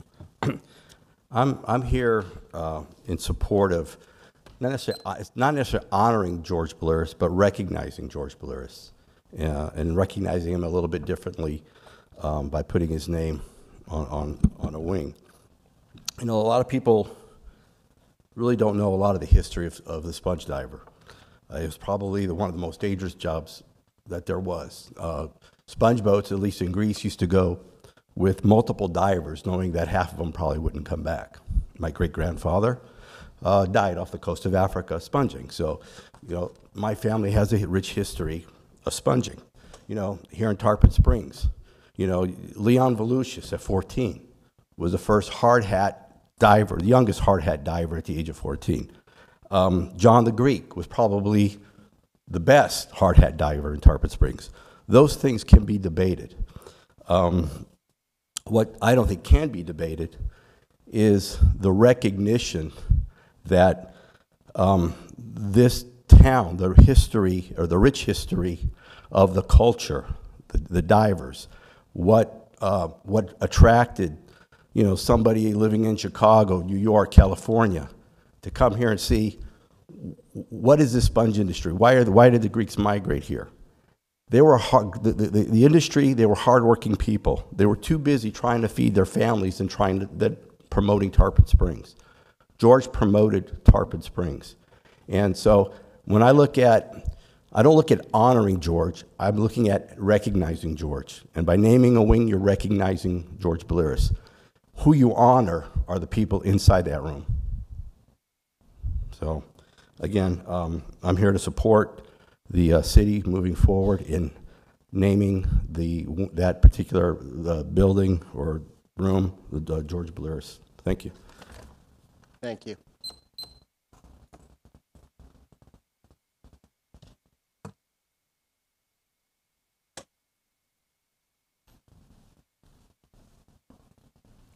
Good evening, Nick Zambellis, 485 Riverside Drive. I appreciate Mike's uh, comments, and they mean a lot because outside, you know, we, we're, we're childhood friends, and so we go back. And when he was outside, we had a chance to talk about it, and it was good because it enlightened me. I hope I enlightened him a little bit, and it actually was a little bit of a history summary. And I think everyone here has good intentions with regards to that. I respect and admire Mr. Billiris. I still I call him Mr. Billiris because to me I had that kind of respect for him because he did contribute a lot to the industry. He contributed a lot to making Tarpon Springs aware. But at the same time, I feel that there are others. I mean, I know when you know when I started and I read this topic, I said, you know, I'm gonna I'm gonna get a history lesson myself, and I went on. I I went to the Google, I went to Bing, I did so many terms and phrases, and I got a good history lesson. And I can tell you from the history lesson, I learned a lot about the John Koukouris, the John Cheney. I learned about different ethnic groups that were involved in the development and the culture of sponging that were non Greeks, different colors of, of, of skin. And I was impressed by that, and that made me feel convicted to say, while I understand and recognize the importance of recognizing someone such as Mr. Billiris, I also feel that it's important to recognize and honor those as well that contributed both in the past, in the present, and also leave the door open for the future. Um, I place a lot of value in the history of our Tarpon Springs, and I use an analogy with Mike outside. Is so, Mike, look along the wall. We got every picture of every mayor in Tarpon Springs, and we're you're honoring and paying tribute to every mayor, but you're not naming one part of a building after one mayor. Um, I also said to Mike, you know, Mike, let's talk about the sports arena. The sports arena, we have the Hall of Fame. And every year, the Hall of Fame nominates individuals to go into that Hall of Fame, but they don't just pick one and say, this is a Hall of Fame for one person. Mr. Billiris deserves to be in that Hall of Fame. I think there are others that deserve to be in that Hall of Fame. I understand what you're saying, name it after one individual, um, but I also feel that when you name it after one individual, then you're really basically giving one individual the Hall of Fame, and then you're going to honor the secondary level, both past and present in the interior. So that's, that's my words.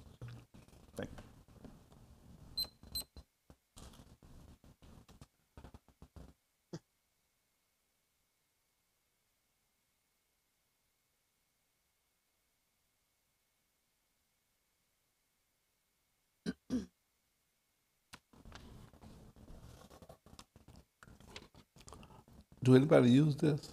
I don't see any names on that, so I guess I'll be first. on that.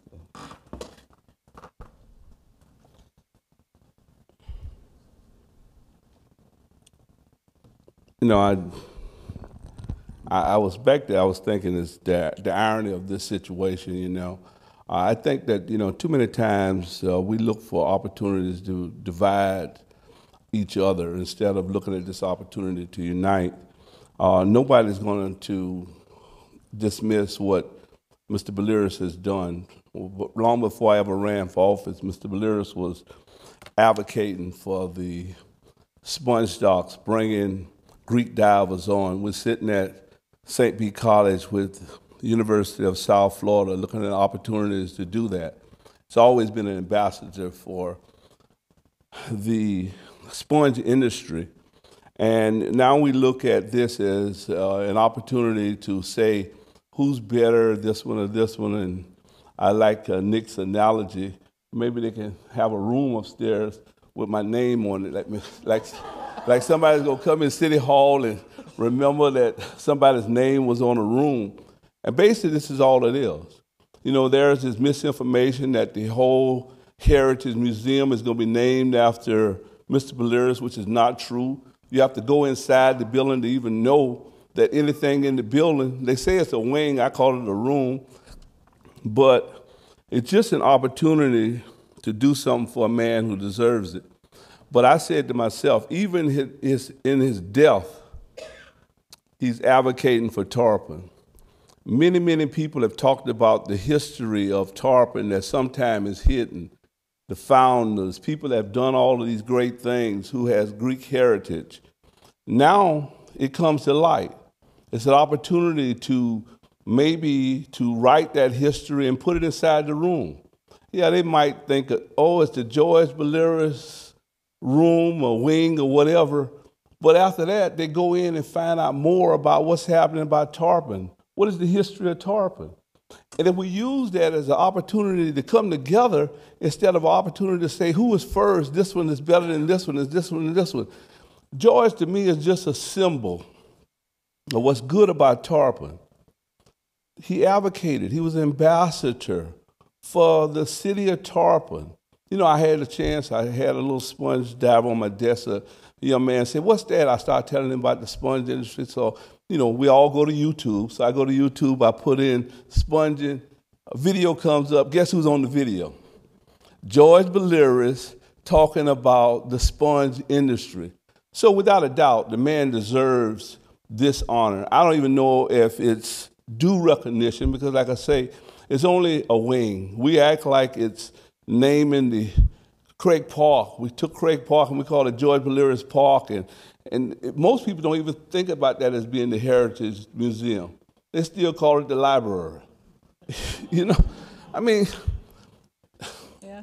I'm just saying sometimes instead of looking at this as an opportunity to divide, let's look at an opportunity to unite. Let's take all of the history that people have talked about. Let's catalog that. Let's put it in that room so others can know about what has happened here in Tarpon. Does that bring less of an honor to them? No. The funny thing is, if this didn't come up, and I just thank Commissioner Banther for, I know right now he's not really uh, thinking this maybe was the greatest idea, but to even bring it up, because without that, these same people that everybody's advocating who's done so much for Tarpon, nobody would know anything about. Now it's an opportunity to recognize those people. That doesn't diminish anything that they've done. It doesn't diminish anything that Joy's done. It's just an opportunity to give due recognition to someone who deserves it. Thank you. Thank you.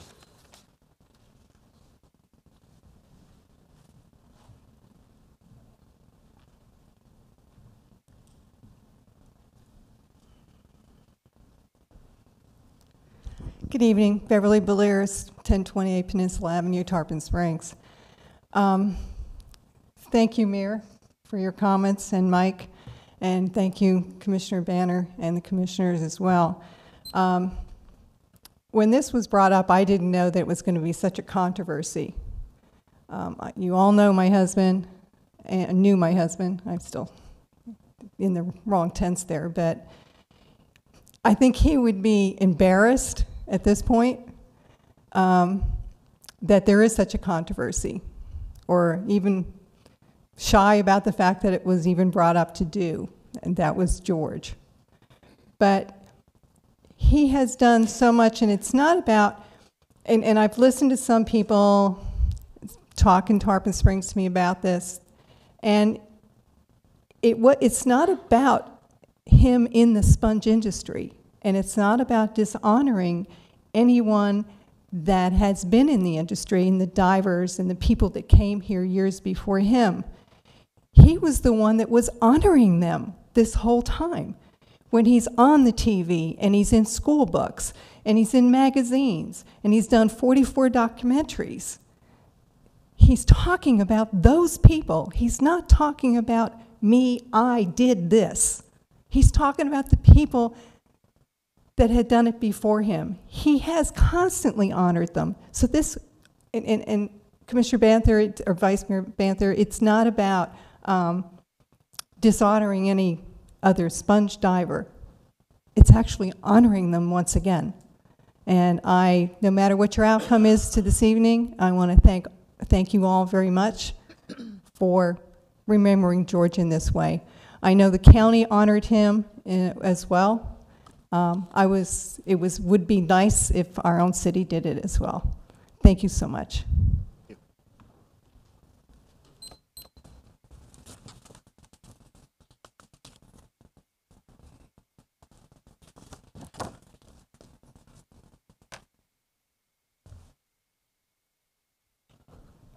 Commissioners, audience. Um, I'm Frank DiDonato. Um, proud to be a Tarpon person. I consider myself a Tarpon person. I've been here 41 years of my life.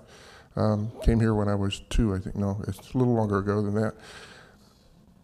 One of the first people I met to tell me about Tarpon Springs was George Billiris. One of the first people that really not just tell me, but set me down and got my attention about how important sponge diving was and the sponge industry was to Tarpon Springs was George Billiris. And George never talked about what he did and how valuable he was to that industry. He talked about, as, as, as has been said, he talked about all of the sponge divers of Tarpon Springs. But George went way beyond that. Some of you may know, some of you do not know. As, as we just brought out, the county honored George quite some time ago. And they didn't honor him as a sponge diver. They honored him as the man who loved Tarpon Springs. That man took time out of his businesses and went down county and met with the tourist development people and made sure that Tarpon was always included, the sponge docks were always included, and Tarpon was the place to come to see. They made sure the county would do that. And not only did he do it such a good job, the county years ago designated five major tourist attractions in Pinellas County. And we are one of them because of George Billiris and Charlie Phillips. By the way, I want to give him a plug. He put some time into this as well. But if George Billiris hadn't taken the time out of his own personal life and gone down and, and worked with the county in developing tourism, tourism, not just the sponge industry, although that was the first thing he would talk about because he knew how vital it was to our community to preserve it. He knew how vital it was to Pinellas County to preserve the sponge diver industry. And again, has, has been already said, I don't want to repeat anything, but it, it shouldn't be a division. It should be a coming together and a rejoicing. And George, there is no question that man deserves recognition above, above many. I don't know of anybody else in my 41 years here that has ever put in the time and devotion and the love to this community and be involved in, in, in the political process just to see that it got done than George Billiris. So I hope for that reason you will pass this motion. Thank you.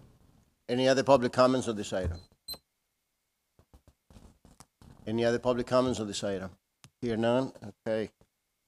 The, uh, we are now going to have a discussion here. Well, I endorse all the comments made by uh, the Billiris family and the public, and all the former mayors that are here tonight with us. Mr. George Billiris had many friends. Mr. George Billiris was a, was a good man. He was a very good contributor to the sponge industry. He made many videos, many commercials. He promoted his business. He promoted Tarpon Springs. He loved Tarpon Springs, and he should be honored. He should be honored with all the other sponge uh, divers and all the other people that actually work and were involved in the sponge industry. My fellow commissioners, as you know, we received many letters from concerned citizens asking us to honor all the sponges that contributed in that industry in Tarpon Springs, and to name the Heritage Museum to honor all the sponges, including Mr. Billiris, and to name it the Spongers Museum. Our high school, that most of us graduated from, it was named to honor the Spongers. Just a few weeks ago, the Historical Society had an exhibit to honor the Greek history, and it had many photographs of all the uh, uh, the spongers and all the people working on the sponge boats. Last month, we passed a proclamation for for the Tarpon Springs History Month, and I will read two sections of it. Proclamation, the City of Tarpon Springs, Florida. Whereas in 1980, John Cheney introduced the first local sponge business in Tarpon Springs, utilizing many blacks and whites from Key West and Bahamas, and a few weeks and, and a few Greek, Amer- uh, Greek immigrants using the method of a hook sponging. Whereas in 1905, John Kokoris introduced a technique of sponge diving to Tarpon Springs with divers from the islands of Egina and Indra. Later, he brought 500 deep, deep sea fishing, I mean, deep divers from the uh, Dodecanese Islands, Kalymnos, Halki, and Simi. He revitalized the local sponge industry and causing Tarpon Springs to be known as the sponge capital of the world. So, the, the founders, the pioneers in the sponge industry, it was John Cheney, and he was not a Greek person. And then it was John Kokoris who brought 500 people from the islands in order to create the industry here in Tarpon Springs. They developed those two. They the, the um, John Cheney and John Kokoris they developed the uh, the culture that we cherish here in Tarpon Springs. Channel 48. He had a, a talk show and he got the uh, public opinion on this matter. 100% of the people wanted the Heritage Museum wing to be named the Sponge Museum, and also to honor Mr. George Billiris and dedicate a section in the museum for him. I think it would be unfair if we ignore all the other sponge, sponges, including the founders, Mr. Cheney and Mr. Kokoris, and all the Greek Americans, the non-Greeks, and all the African Americans that actually work on the sponge boats. They're the ones that contribute to our history, to the culture that we have, and to the local economy. Let's put a questionnaire, a questionnaire attached to the water bill and let the people of Tarpon Springs tell us what they really want. Let the people tell us what they really want, not us. Because we all going to be favoring Mr. George Billiris because we love him. He was our friend. But what about the other people? They have their families that worked there for years. How they feel about it? So my recommendation is to go ahead and put a questionnaire attached to the water bill and let the people of Tarpon Springs tell us what we should do, how, what we should name the wing. And inside, we should dedicate a place for Mr. Billiris to be recognized, just like the others. Thank you. And now I'd like to go to uh, Vice Mayor Banther. Thank you.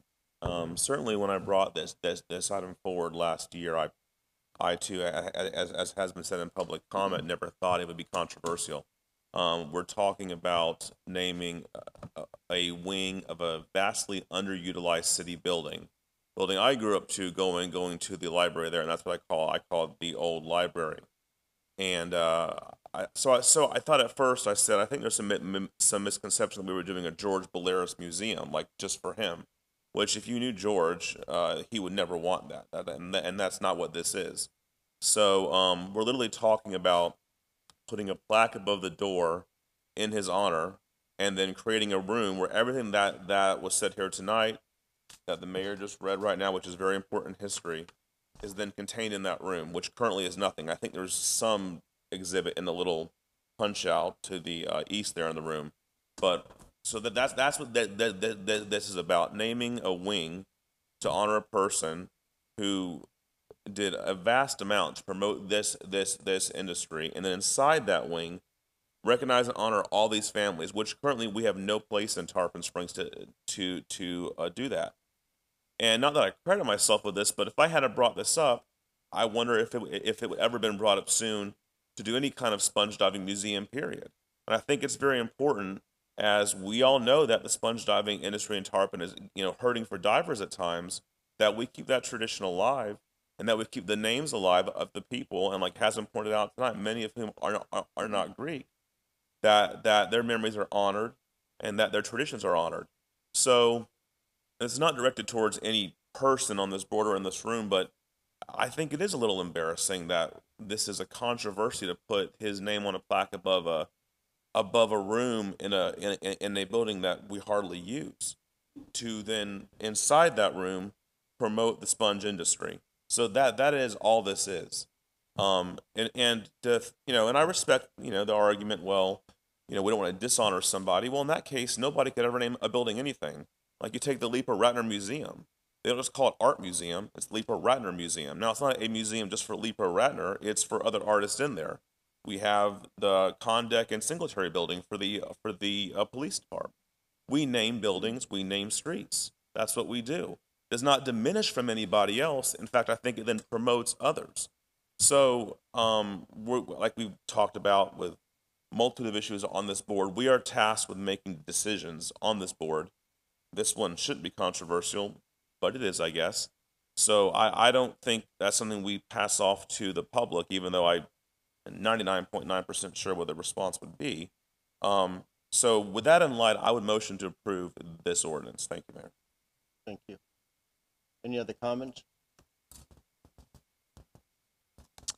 Yes, thank you. Um, and it is a shame that this has become so controversial. Uh, um, it- it's not only about George, and, and, you know, George didn't only promote the sponging industry, it was tourism in a whole.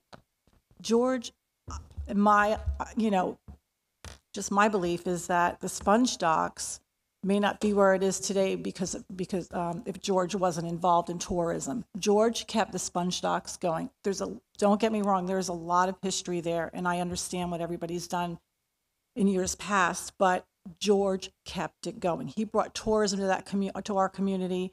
Um, the documentaries and the um, just the recognition that he has given our town, I, I can't even tell you. He he just was a, pillar of this community. Um, and then our St. Pete, Clearwater St. Pete Visitors Bureau is honoring him every year with um, an annual award in his name, in tourism award in, in George's name. So if they can honor Mr. Billiris, I really think that that's something that we should be doing as well. Um, it- again, it's not naming the entire building, the entire Heritage Museum after George, it's a wing. And that's where we start. And then from there, like it's been said, we, you know, we add to it. We add um, the proclamation that the mayor just read and, and other names and whatnot. And if it's not in the museum, it could be somewhere on the sponge docks. But we need to keep, I agree, we need to keep the history alive. Um, there, there is a lot of history here in our community, and uh, we all have passion for this community, big passion for this community. So, again, George, I- think that this is just so important that we honor his name. The- the- He did so much for our town, for the county, um, and for tourism in general. Um, and I think this is just the right thing to do at this time. Thank you. Thank you. Thank you. Um, As, the- as uh, Vice Mayor uh, Banther and, and uh, Commissioner Slattery said, um, it, it's more about, we all honor the divers that came before uh, George, and, and we all want to recognize them. Cheney and, and Kokoris are recognized on the sponge docks. But it's not just about sponge diving with George. It's about promoting Tarpon Springs. Uh, I'm a business owner on the sponge docks. I appreciate every day what George did for Tarpon Springs. Um, when I was president of the Merchants Association, I had many conversations with George. Um, he breathed and lived Tarpon Springs. It wasn't about him. It wasn't even about sponge diving. It was about the sponge. He called it our Mickey Mouse. His biggest fear was that we were going to lose our Mickey Mouse because we only have a handful of divers left. Um, and and he cared about the divers. He cared about the industry. He cared about Tarpon Springs. Um, he went to the Tourist Development Council meetings uh, in the county. He made sure that we were on the map. He made sure that Tarpon Springs was recognized. And it's more about the recognition of Tarpon Springs and what he did for Tarpon Springs um, as someone who marketed Tarpon Springs. That I and, and Mayor Archie, you put it uh, right. We should not be divided about this. We should be united. And inside that wing, we can then have some history and honoring the other divers uh, that came before him, and, um, and and have some history working with our historical society. And uh, so, I have to agree that this wing uh, he should be recognized, and um, because he did so much for this community, as the proclamation says, he was a community leader, and I think he was a leader more than anyone else. Uh, uh, on the sponge docks uh, as far as promoting Tarpon Springs and bringing people to Tarpon Springs. Um, so I appreciate everything George did for us and for Tarpon Springs and the sponge docks and our community. And I would agree to, to name this wing after him. Karr? Thank you. Um, I want to say thanks to the city manager about um, talking about the additional uh, history elements that we could incorporate into Tarpon Springs from the walkable standpoint. If it's down Safford, if it's down other parts uh, from the historic district to the uh, sponge docks. Uh, I really think that's a great idea. I, I love going to Tampa and seeing the history that they have of the or the headshots. I think if they're bronze headshots or full statues of of history of um, where the towns come, how it was founded, with a short history uh, history blurb um, about it. So that's that's great to hear. And I, I want to echo what Mayor Archie was talking about with putting a positive spin on this because we have an opportunity to talk about a lot of history that we wouldn't necessarily be talking about today if this wasn't brought up by uh, Vice Mayor Banther. Um, with that, I know there's some concern about renaming the whole building. Um, when I found out this is a wing, I, I think I was more um, in support of this. Um, I, I, do like the last one, uh, Mr. George Michael Billiris wing to honor the sponge industry as a whole. Um, and really incorporates the whole sponge industry. Um, like everyone's been saying tonight, he's more of a spokesperson for Tarpon Springs. He is now the spokesperson potentially for the sponge industry wing. Um, so he's still continuing that on. Although it's still honoring the sponge industry. So if I had to make a recommendation based on what I saw out of all the options, I think that would be the route to go um, with the Mr. George Michael Billiris wing to honor the sponge industry, uh, or sp- uh, and then I support everything else that was said tonight too about honoring the rest of the spongers. So thank you. Vice Mayor Banther, you made a motion. Do you want to recommend any of the, uh, Yes, I, I. I recommend the sign that Commissioner Karr pointed out, and that was in my email to Mr. Mr. LeCouris, I believe, as well. which is, would you repeat that again? Which one that is? Um, it's the George Michael Billiris wing to honors, uh, to honor sponge industry. I'm not sure if, if, if, if, if the word the should be in there. I'm, I'm not a grammar expert, but as long as it has his name and then to honor sponge, uh, to honor sponge industry, so we, so it's crystal clear, as we've discussed tonight, what the purpose of, of, of that wing is. As long as it has those elements in there, that's, that, that, that, that- that's what my, uh, my, uh, my, uh, motion is tonight. I have a motion. Do I have a Have a second? second. Okay, and roll call, please. Commissioner Karr? Yes. Commissioner Kikta? Yes. Commissioner Sieber, Yes. Vice Mayor Banther? Yes. Mayor Alahouzos? No. Thank you.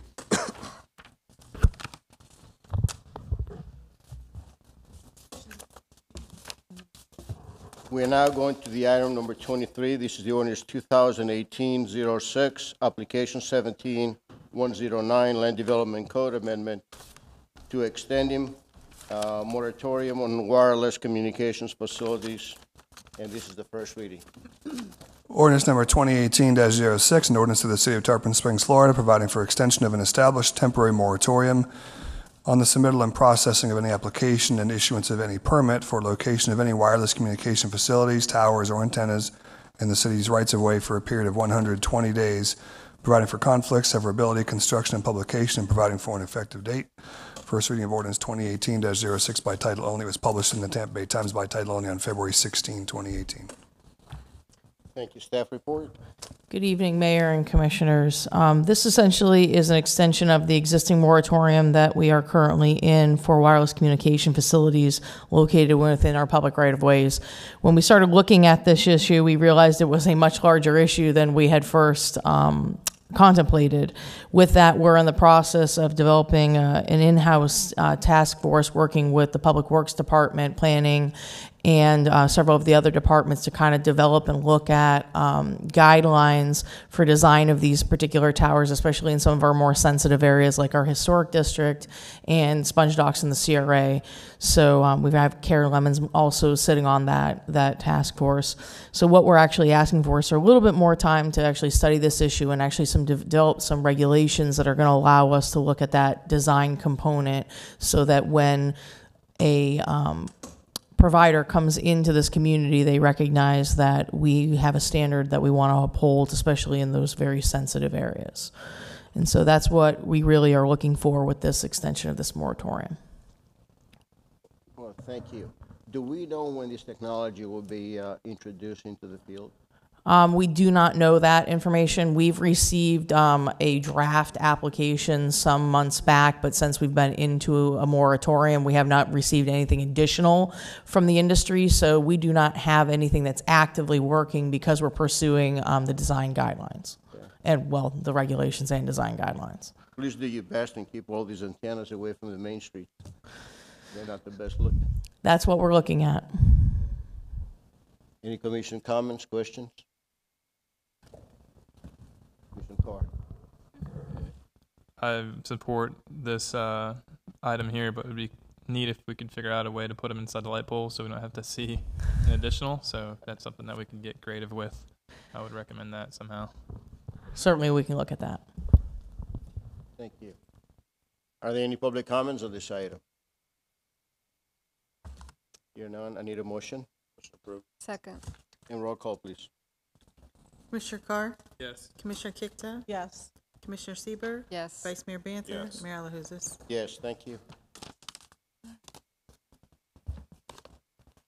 Okay, we are now going to the item number twenty-four, which is the ordinance two thousand eighteen 2 application seventeen one seventeen, Rizzoni Tagarelli Park Street Apartments. This is the second reading.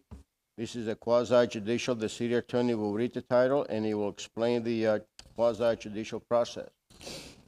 Ordinance 2018-02, an ordinance of the City of Tarpon Springs, Florida, amending the official zoning map of the City of Tarpon Springs, Florida for approximately 0.47 acres of property located on the northwest corner of the intersection of Park Street and Grand Boulevard, AP 17-117, from zoning designation R60 Neighborhood Conservation District to RM15 Residential Multifamily District, providing for findings and providing an effective date. Second reading of ordinance 2018-02 by title only was published in the Tampa Bay Times by title only with a map on December 10 and 29, 2017. Uh, This application is quasi judicial. We did have a full quasi judicial hearing on first reading. Uh, I would ask for anyone who intends to uh, give testimony tonight to please stand and be sworn.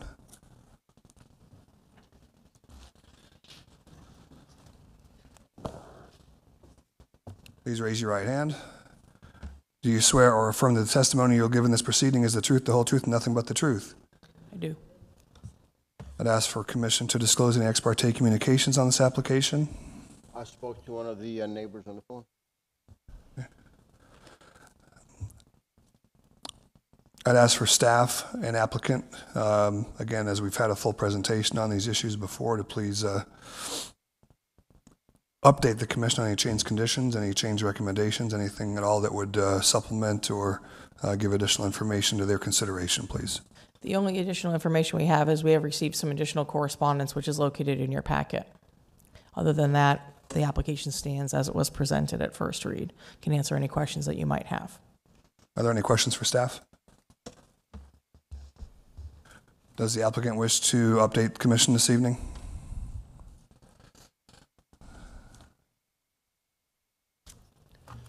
Uh, Mike Tagarelli, 601 Lower Lane, Tarpon Springs. Um, I've sat through the planning and zoning meeting and the first reading of this uh, rezoning, and I kept hearing the same issues from the uh, opposition. I mean, we're talking um, stormwater runoff, parking, sewage, and traffic issues.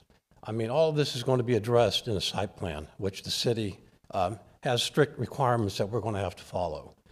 Um, also want to mention that there's 11 sites, multifamily sites within a 500 radius of our uh, rezoning project. Also would like to mention if we stay with R60, I can put a footprint of 9,000 square foot building on there versus uh, 7,000 for seven units at 1,000 square feet on the apartments. The last thing I would like to mention, I keep hearing about tenants that bring crime. Um, I'm sorry, but um, uh, tenants, all tenants are not criminals. Okay, um, yes, we're going to go through some tenants as a landlord and have to weed them out. But in my past, I've had some great tenants, and uh, uh, I myself was a tenant in the beginning of our career, as well as I'm sure a lot of people here. So to sit here and claim that all these tenants are going to be criminals, um, I, I think is not fair to uh, um, these people. That's all the comments I've had. Any other questions? I would be glad to uh, answer them. Are there any questions of the applicant?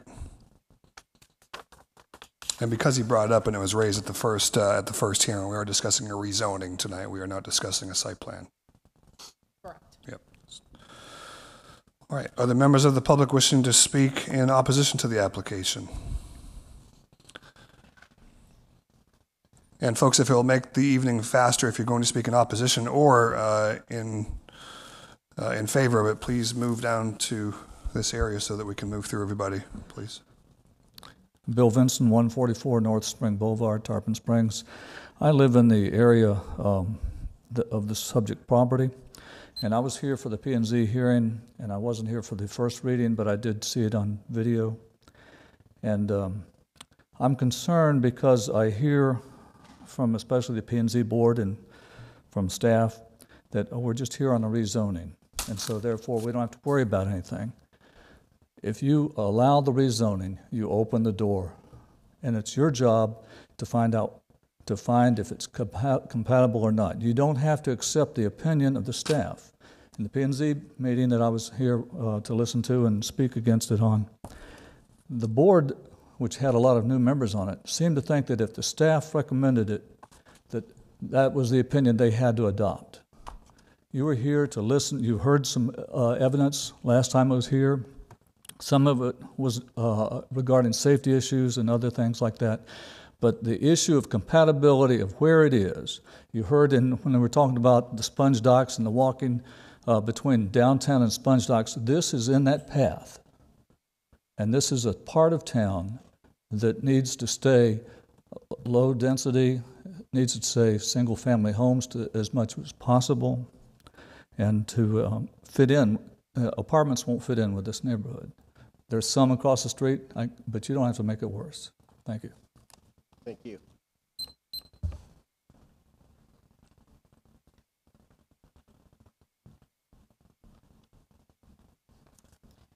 Hello, Christy Corfius, 538 and a half Division Street, Tarpon Springs. I agree with what um, the previous gentleman stated. I live right there. I walk right there. I drive my kids to and from school every day in that area. It is a very unsafe intersection. The speed limit was reduced a couple years ago. People still fly around that curve. With an additional apartment building on that lot that is less than a half an acre, there is going to be numerous more foot traffic, street traffic with cars. Then, with the zoning being residential, we've got the church right there. When there are events at St. Michael's, where's people, where's everybody to park? Our streets are already crowded enough in that area to bring more traffic in and take away from parking for the church when we do have large events there. That's all I have to say. Thank you.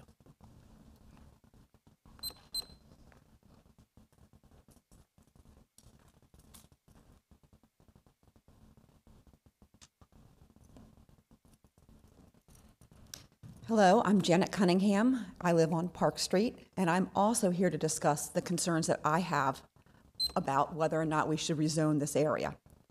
As the last person just said, it is a very dangerous intersection. I know, I live there. Right now, the area is empty, and it's still very busy. A concern of having additional traffic definitely would be something that I would be worried about. The possible owner or developer talked about what had been said before about tenants and crime and how there's not really a correlation. But I remember a little more than three years ago when I sat in my house and I heard gunshots. And I think everybody here remembers that too. Those gunshots came from an apartment building located right down the street from where this prospective apartment is going to be. Safety is a paramount concern of mine for a variety of reasons. One is I'm a school teacher, and we've just dealt with a major tragedy. Again, I can't say tenants bring in crime, but I can say there's more of a chance of multiple people having more crime than having single families having crime. Stormwater runoff, absolutely. That area floods. Anyone who lives near there knows that. We don't need a hurricane to tell us that. We just sit there and look at it. More traffic in there, more people, potential for more crime. All of these things need to be considered by the commission here as a reality of what would happen if this is rezoned. We live in an area that is very unique in the Park Street area. It is right near the sponge docks. We just spent a very large amount of time talking about the heritage of Tarpon Springs and yet we just kind of zoom by this issue. This is an area of Tarpon Springs that you walk right to between Epiphany and the Sponge Docks. The gentleman who spoke first in, um, about this issue, he said, We have X number of multifamily dwellings in this area. Yeah, we do. We don't need any more. All of these are issues that I would like the commission and the mayor to consider when looking at whether or not to rezone this property. Thank you. Thank you.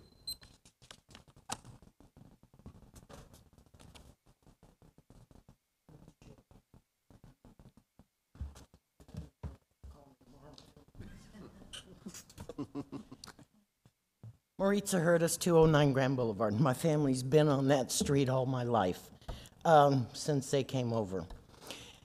It's changed. We could, before we had air, you had your screen doors. You, you slept with your doors open, your windows open. You can't do that anymore. If my window doesn't lock right, I nail it shut because I'm not, I'm scared. At 209, I'm two doors away from those apartments, Eureka. I saw everything that night. I've seen everything every time the police go there. When the lights start flashing, I can see it through my blinds, and I sit on my porch, and I probably should stay inside for my own safety.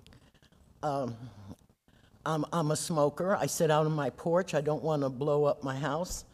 And sometimes it's late at night, and I get scared. There's constantly people walking back and forth. And a lot of them are going into those Eureka apartments, but they're going back north Grand Boulevard. I don't know where they're coming from. The apartments that are already built there, they're not even rented. There's, there's the, the density, it's, it's just not there for that section. If you can't rent the apartments that are already there, why do you want to build more apartments? I would build single family homes. That's what that area is used to. And the way Tarpon is going, they're, they're buying the older houses and fixing them up. So they want to be in a nice neighborhood. Okay, thank you.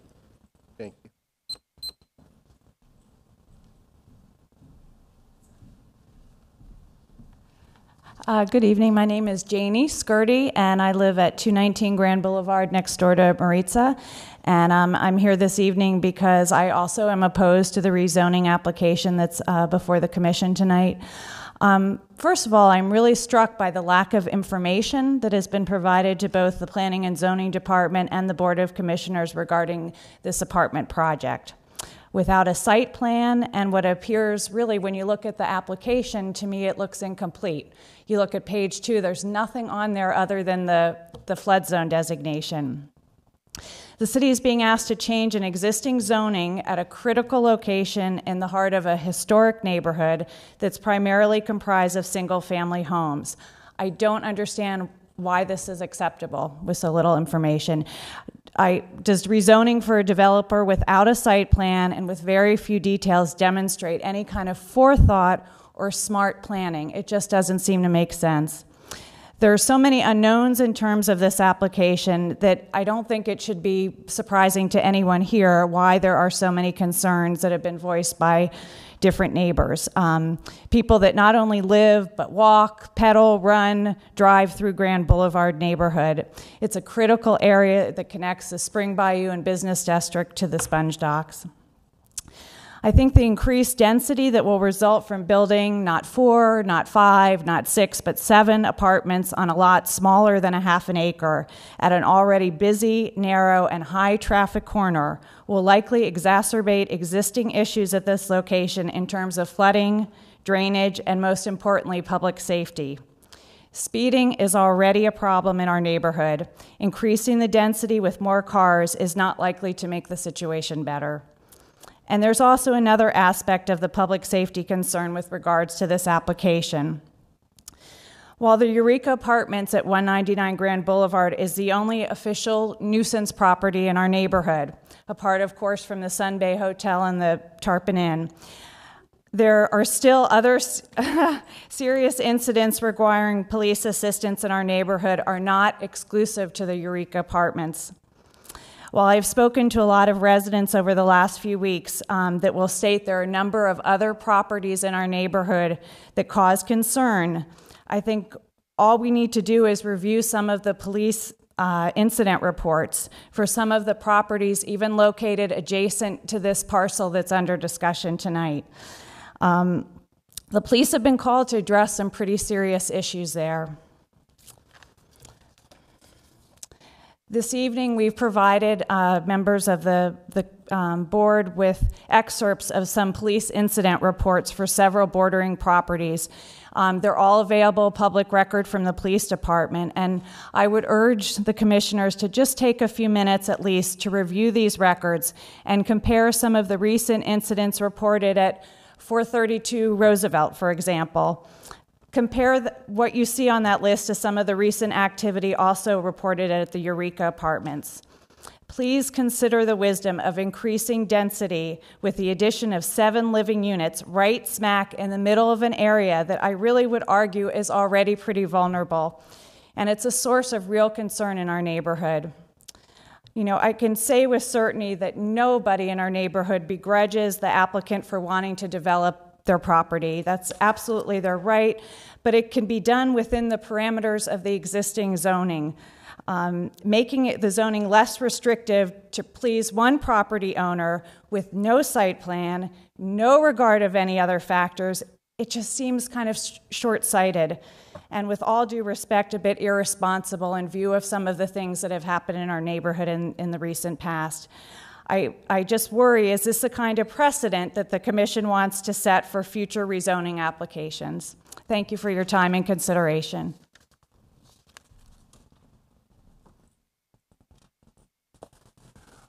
Are there other members of the public wishing to speak in opposition?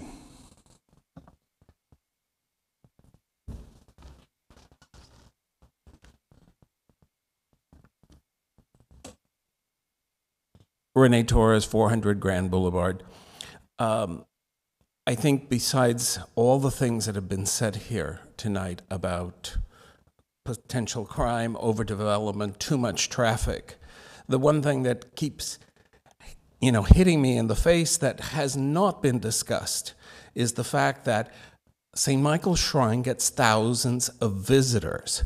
Buses of tourists come to it. School kids play on that lot. And there seems to be, if you were building a new church anywhere, it would have a minimum requirement for open space or parking, and you are not addressing it. And I want to make a comment that the last time I was here, somebody said that, well, we trust the applicant. And this is not about trust, this is about laws and zoning as it stands. Thank you.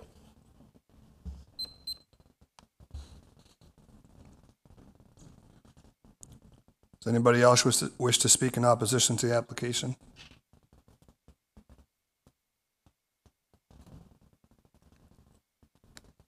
Good evening, Bill Plaza, 419 Roosevelt Road. Uh, before I start, uh, I did provide a page with some pictures to you, uh, commissioners. Uh, I will refer in my uh, little presentation. Uh, and maybe, Mayor, can I ask for a little bit extra time from people that will not be speaking? You must identify who they are, then you get two minutes for each person. Identify the names, please. Give us a name.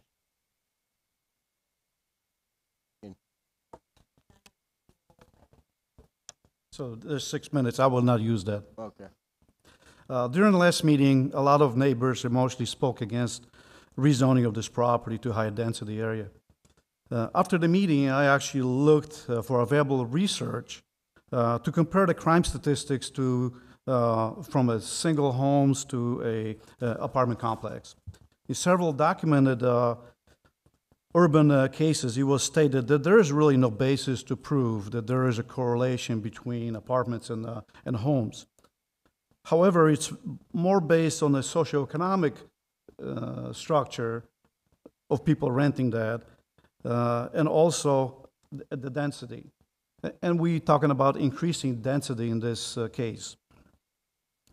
Uh, the higher density is also presented to you in the form of the logs, and you can see for yourself, and maybe compare to some single homes as well, to see if those logs really represent a higher uh, call logs than a single family homes. But you cannot ignore the evidence that was put in front of you.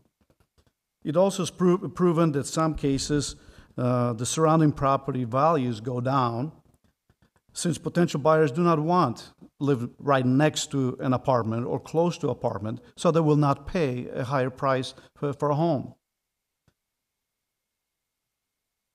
So, based on those facts, it is reasonable to understand why there's a stigma that comes really, really with uh, apartment homes. This kind of stigma also exists with the chain restaurants. You, as a Board of Commissioners, do not want to spoil the purity of the town, so you do not allow chain restaurants in the historic areas you are dealing with a same, similar stigma. Now, for, from the safety concerns, I would like to emphasize to you once again a traffic safety aspect of the corner of Grand and Park. And here's my research on that. The east side corner of Park and Grand is a blind corner. You have to almost come to uh, uh, all the way on a Grand Avenue in order to see s- uh, traffic coming in from the south. And this is your pic- picture one and two. This is how people stop in this, this area. This section of park uh, from Alt 19 all the way to Grand is a one way street and it's 18 feet wide. Park Street on the west side of Grand Avenue, adjacent to the property in this application, is a two way street. At, this, at times, you have to actually scrape the uh, curb in order to pa- safely pass another vehicle. And I know you would, ask, why is that? And I can tell you that. Park Street, uh, west of the Grand, uh, Grand Boulevard, is only 17 feet wide. 17 feet wide, which is a minimum suggested uh, width for residential street without uh, truck traffic. And this is a two way street. That means that you will have a hard time turning into Park, uh, Park Street uh, from Grand, or when a small boat trailer comes from the Turtle Cove or a truck from Hellas, you, you will not get through. Uh, Park Street is all, also offset, it zigzags. And if you uh, look at it, it's not a straight, really a straight intersection. If you look at this uh, on pick number five, actually it depicts it really nice. Grand Boulevard is curved at the same intersection. So you have another roadblock for, for the traffic. This combined with a lack of designated tro- uh, truck route through the historic district and a lack of parking egress from the pink apartments where the cars are backing out because we did not make the provisions for enough parking spaces and a turnaround at, the, at this uh, property. Already makes the corner of Grand and Park very, very unsafe. And now we want to put more traffic in a higher density area in this area, in, in the, the, this intersection. It doesn't make sense. I, I would like to thank the, the police chief uh, for more police presence and for speed indicator that was placed uh, on this property. Uh, after the last meeting, this is pic, picture three and four. I observed this, uh, this device myself on Monday morning. However, I wasn't able to really decipher how fast the cars were going because anything over 30 miles an hour, it, it just flash, slow down. Well, uh, it happened a lot on Monday morning. And since I can't give you really data to really substantiate my findings, uh, maybe police chief will be able to give you data from the indicator. Commissioners, please put yourself in our situation. If those apartments were being built next to your house, how would you vote? And I am so glad that you're representing the people of Tarpon Springs, the city of many families, not only one family. During the last meeting, a lot was said about the character of the family that's going to build this property. Well, I understand the loyalty to long term residents, and I don't knock you for that.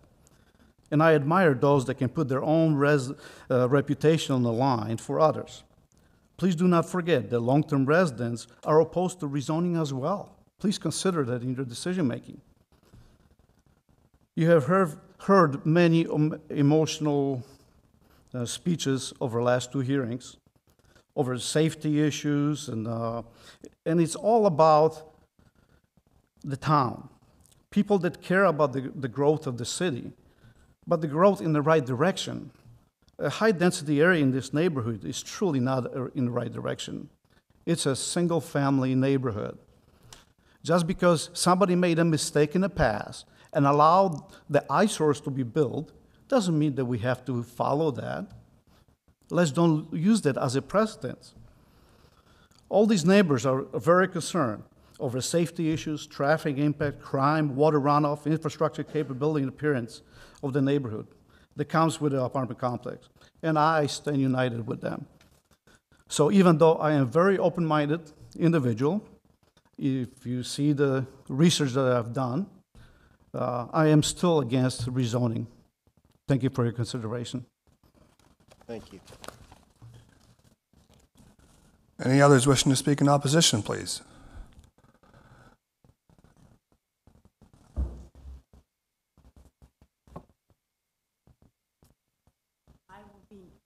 I'm Lois Barth. I have a property at 116 Reed Street. I will be very brief because I spoke at the other two meetings. I concur with the other people who are opposed to the rezoning change. And I question, as the property has been zoned single-family appropriate for three houses, why would there now be the desire to change it to multifamily housing? I mean, at one point, it was decided that there should be three single-family homes there. And I'm asking that the residents of the nearby community area are seeking the support of city council members to maintain our quiet and safe neighborhood by not approving a denser housing plan. Thank you. Other members of the public wishing to speak in opposition?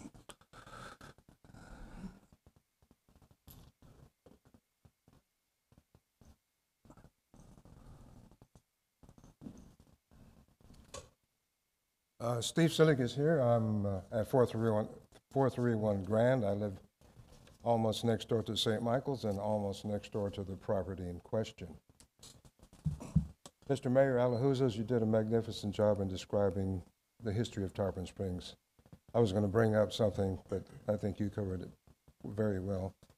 I was going to start with what made Tarpon Springs famous. It was the lowly sponge and the sponge divers that brought it up. But in, in addition to that, what is making Tarpon Springs famous and a, an attraction for many people around the country and the world are there's a metaphysical aspect of the St. Michael's, the religiosity of the situation. That property was bequeathed by Mr. Cantonis for a moderate sum to be used as parking for St. Michael's. There has been conjecture as to whether the property, if it was changed, the zoning was changed, whether or not it would be sold, and what, what would be built on that property in the future. Uh, mixed use, a building with mixed use building would be part of the multi, multi zoning R, R fifteen. RM fifteen residential multifamily allows mixed-use building on that property. A mixed-use building could be a storefront underneath and a residential on top. Now, that wouldn't fit into the prop, to the area, uh, motif. So, uh, if the property was rezoned, which I'm against, and I'm not knocking the Tagarelli family at all, not in the least. I think they did a good job in construction. I, I'm not knocking their, their, their, their construction process, but I am against the rezoning. Thank you. Thank you.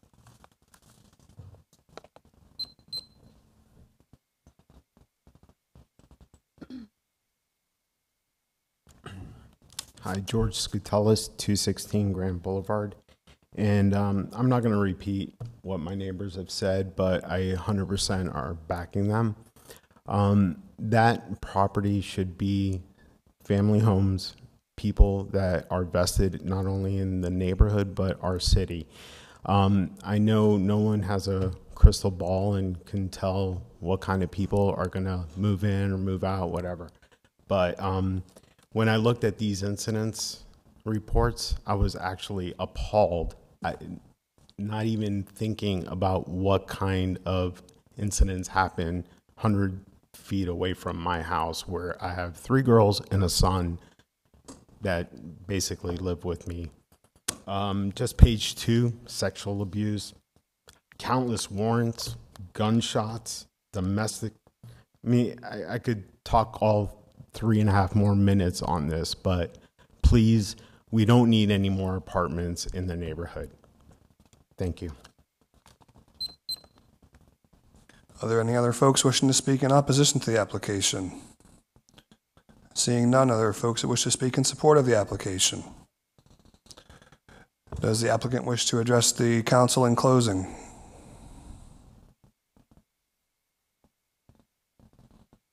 Uh, Mayor, Commissioners, um, we heard Ms. Gertie uh, report at 432 and the Eureka Apartments had police activity.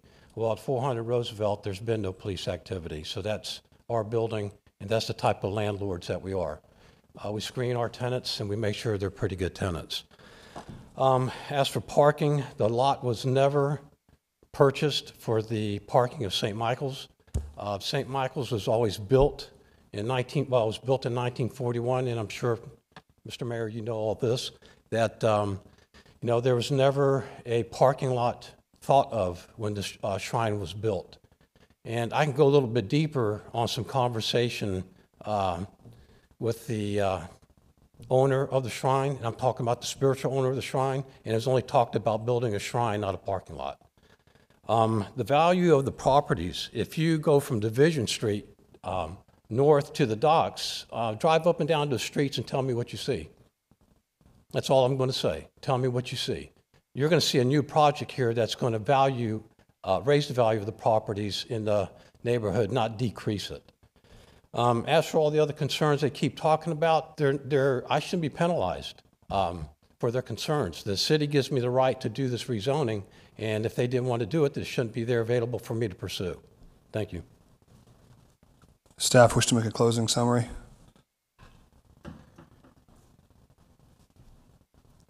Not at this time. Okay, thank you. Are there any uh, commission comments, questions? Vice Mayor Penn. Yes, thank you. Um, I will, I will continue my, um, my non-support uh, of this item. I, I typically, you know, am pro-development, but I do have some concerns with it, with the, with the compatibility of this rezoning on that property. And, and uh, typically what has been done before when we have issues like that, because Tarpon is unique, we only have so many more, more, more, more, areas to build. So we give that respect to, to, uh, to, uh, developers. They would submit a, a, uh, a, a site plan for, because as Mr. Vinson very well pointed out, it's not, it's not just a simple rezoning. By rezoning, we are then allowing things to happen. And I think when you have, you have a piece of property which is very sensitive, um, that uh, submit that um, having a developer submit a site plan first is a gesture of goodwill and helps us help them. Uh, uh, you know, gi- give it, give, give it, give it, gi- gi- give the, give the, give, give, give, give them an approval, like was done with Bayshore Heights.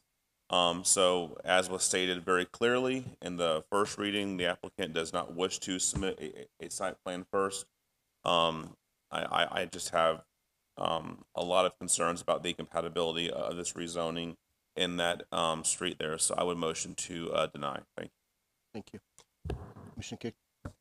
Thank you. Um, you know, a lot, a lot's been brought out here again this evening, uh, like at, at our first meeting. Um, and I still stand by, uh, um, approving this zoning change. Uh, You know,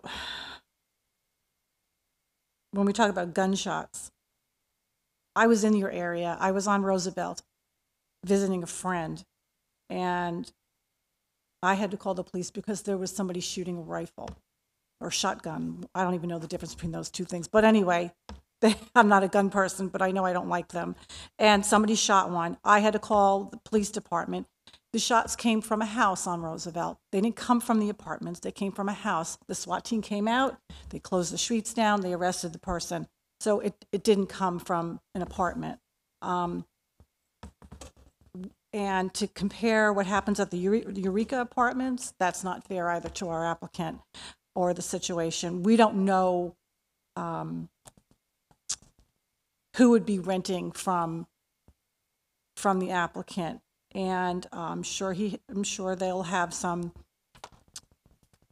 criteria, and we'll screen their screen their um, people people that want to come live there. But again, that really shouldn't have anything to do with what we're here tonight and discussing. Is what we're discussing is rezoning at this point. Um, traffic, there would be a traffic study when it comes to site plan. Uh, again, um, there's so many other uh, issues that you've all brought up this evening that do come at, at site plan uh, review. And this this passed our planning and zoning board six to one, and uh, honestly, I know there was some comments that um, alluded to us rubber stamping what um, our staff recommends, and that is certainly not true. Certainly not true. Um, we're here to study the facts and take into con- consideration all the facts. And um, there's many times we don't agree, or at least I know I don't agree with what staff has to say. We do rely on their expertise at times, but we're not rubber stamping what they are suggesting. Again, this did get, um, this project was approved six to one with planning and zoning, and I will still uh, stand by uh, my support of this application. Thank you. Commissioner Karr? I don't have a whole lot to say. I want to say thank you to the community that came out and spoke. Thank you to the applicant that's here and also to staff. Uh, obviously, this is a very uh, sensitive situation.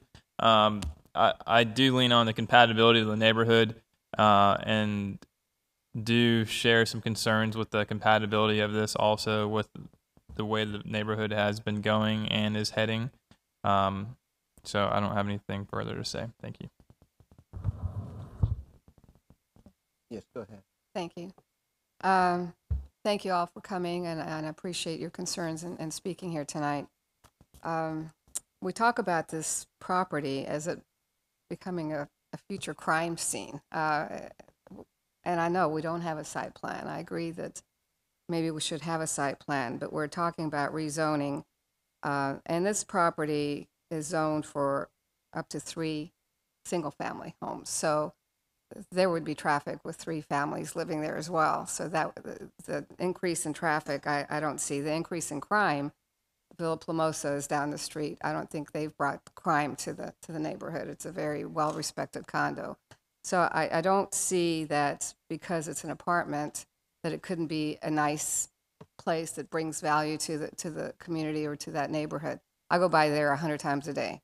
Um, I do see things that go on at Eureka Apartments, and I, and I'm appalled.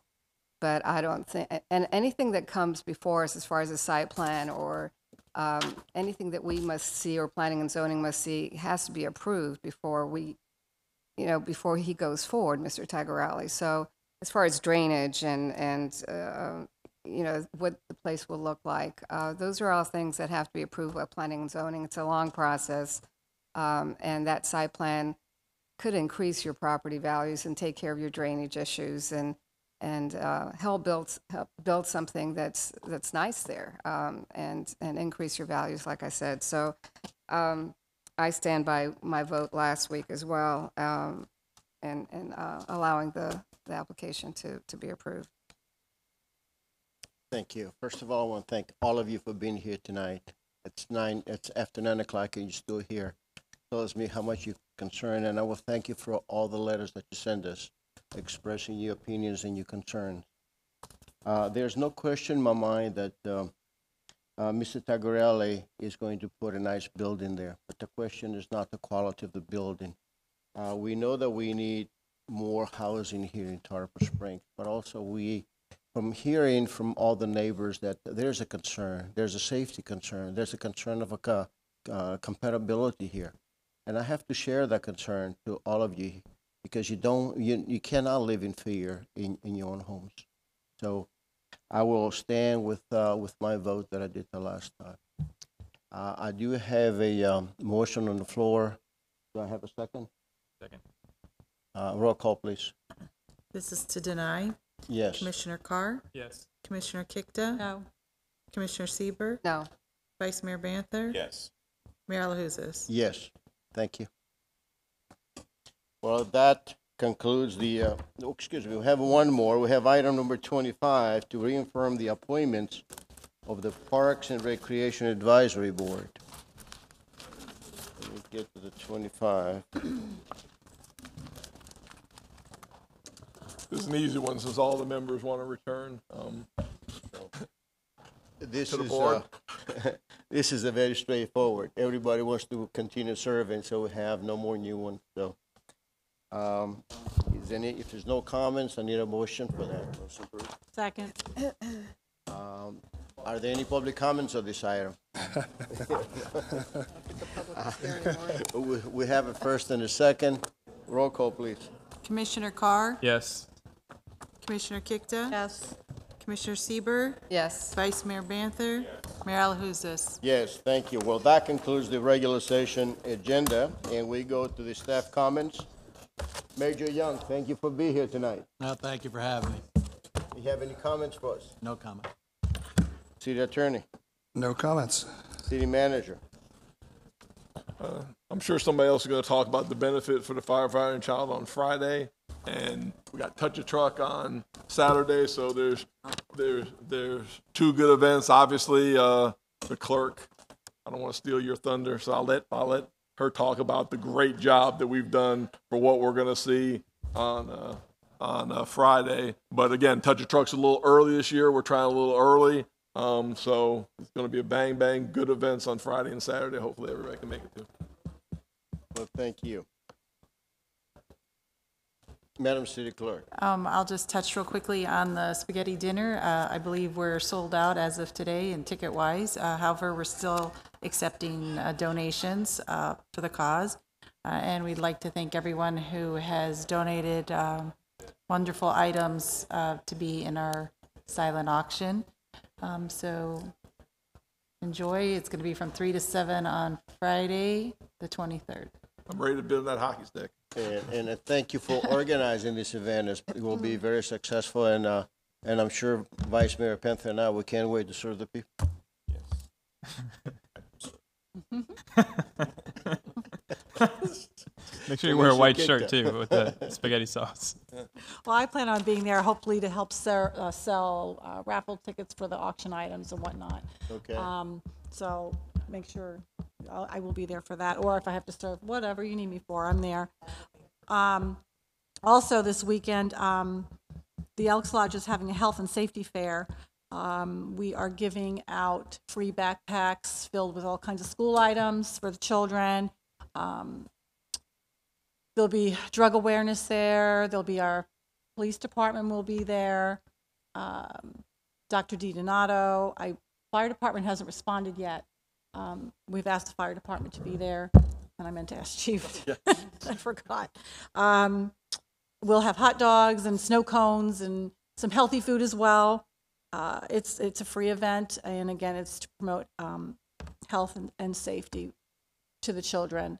So please come out. It's on this Sunday from 12 to 3. And I believe the CAP Center has their Yes, our fundraiser. fundraiser as well on Sunday, which starts at 3 starts at o'clock at, in Innisbrook, um, which I plan on being there as well. So um, yeah, we have a busy weekend in town. W- I guess I'm going to be absent. I I already go to Innisbrook.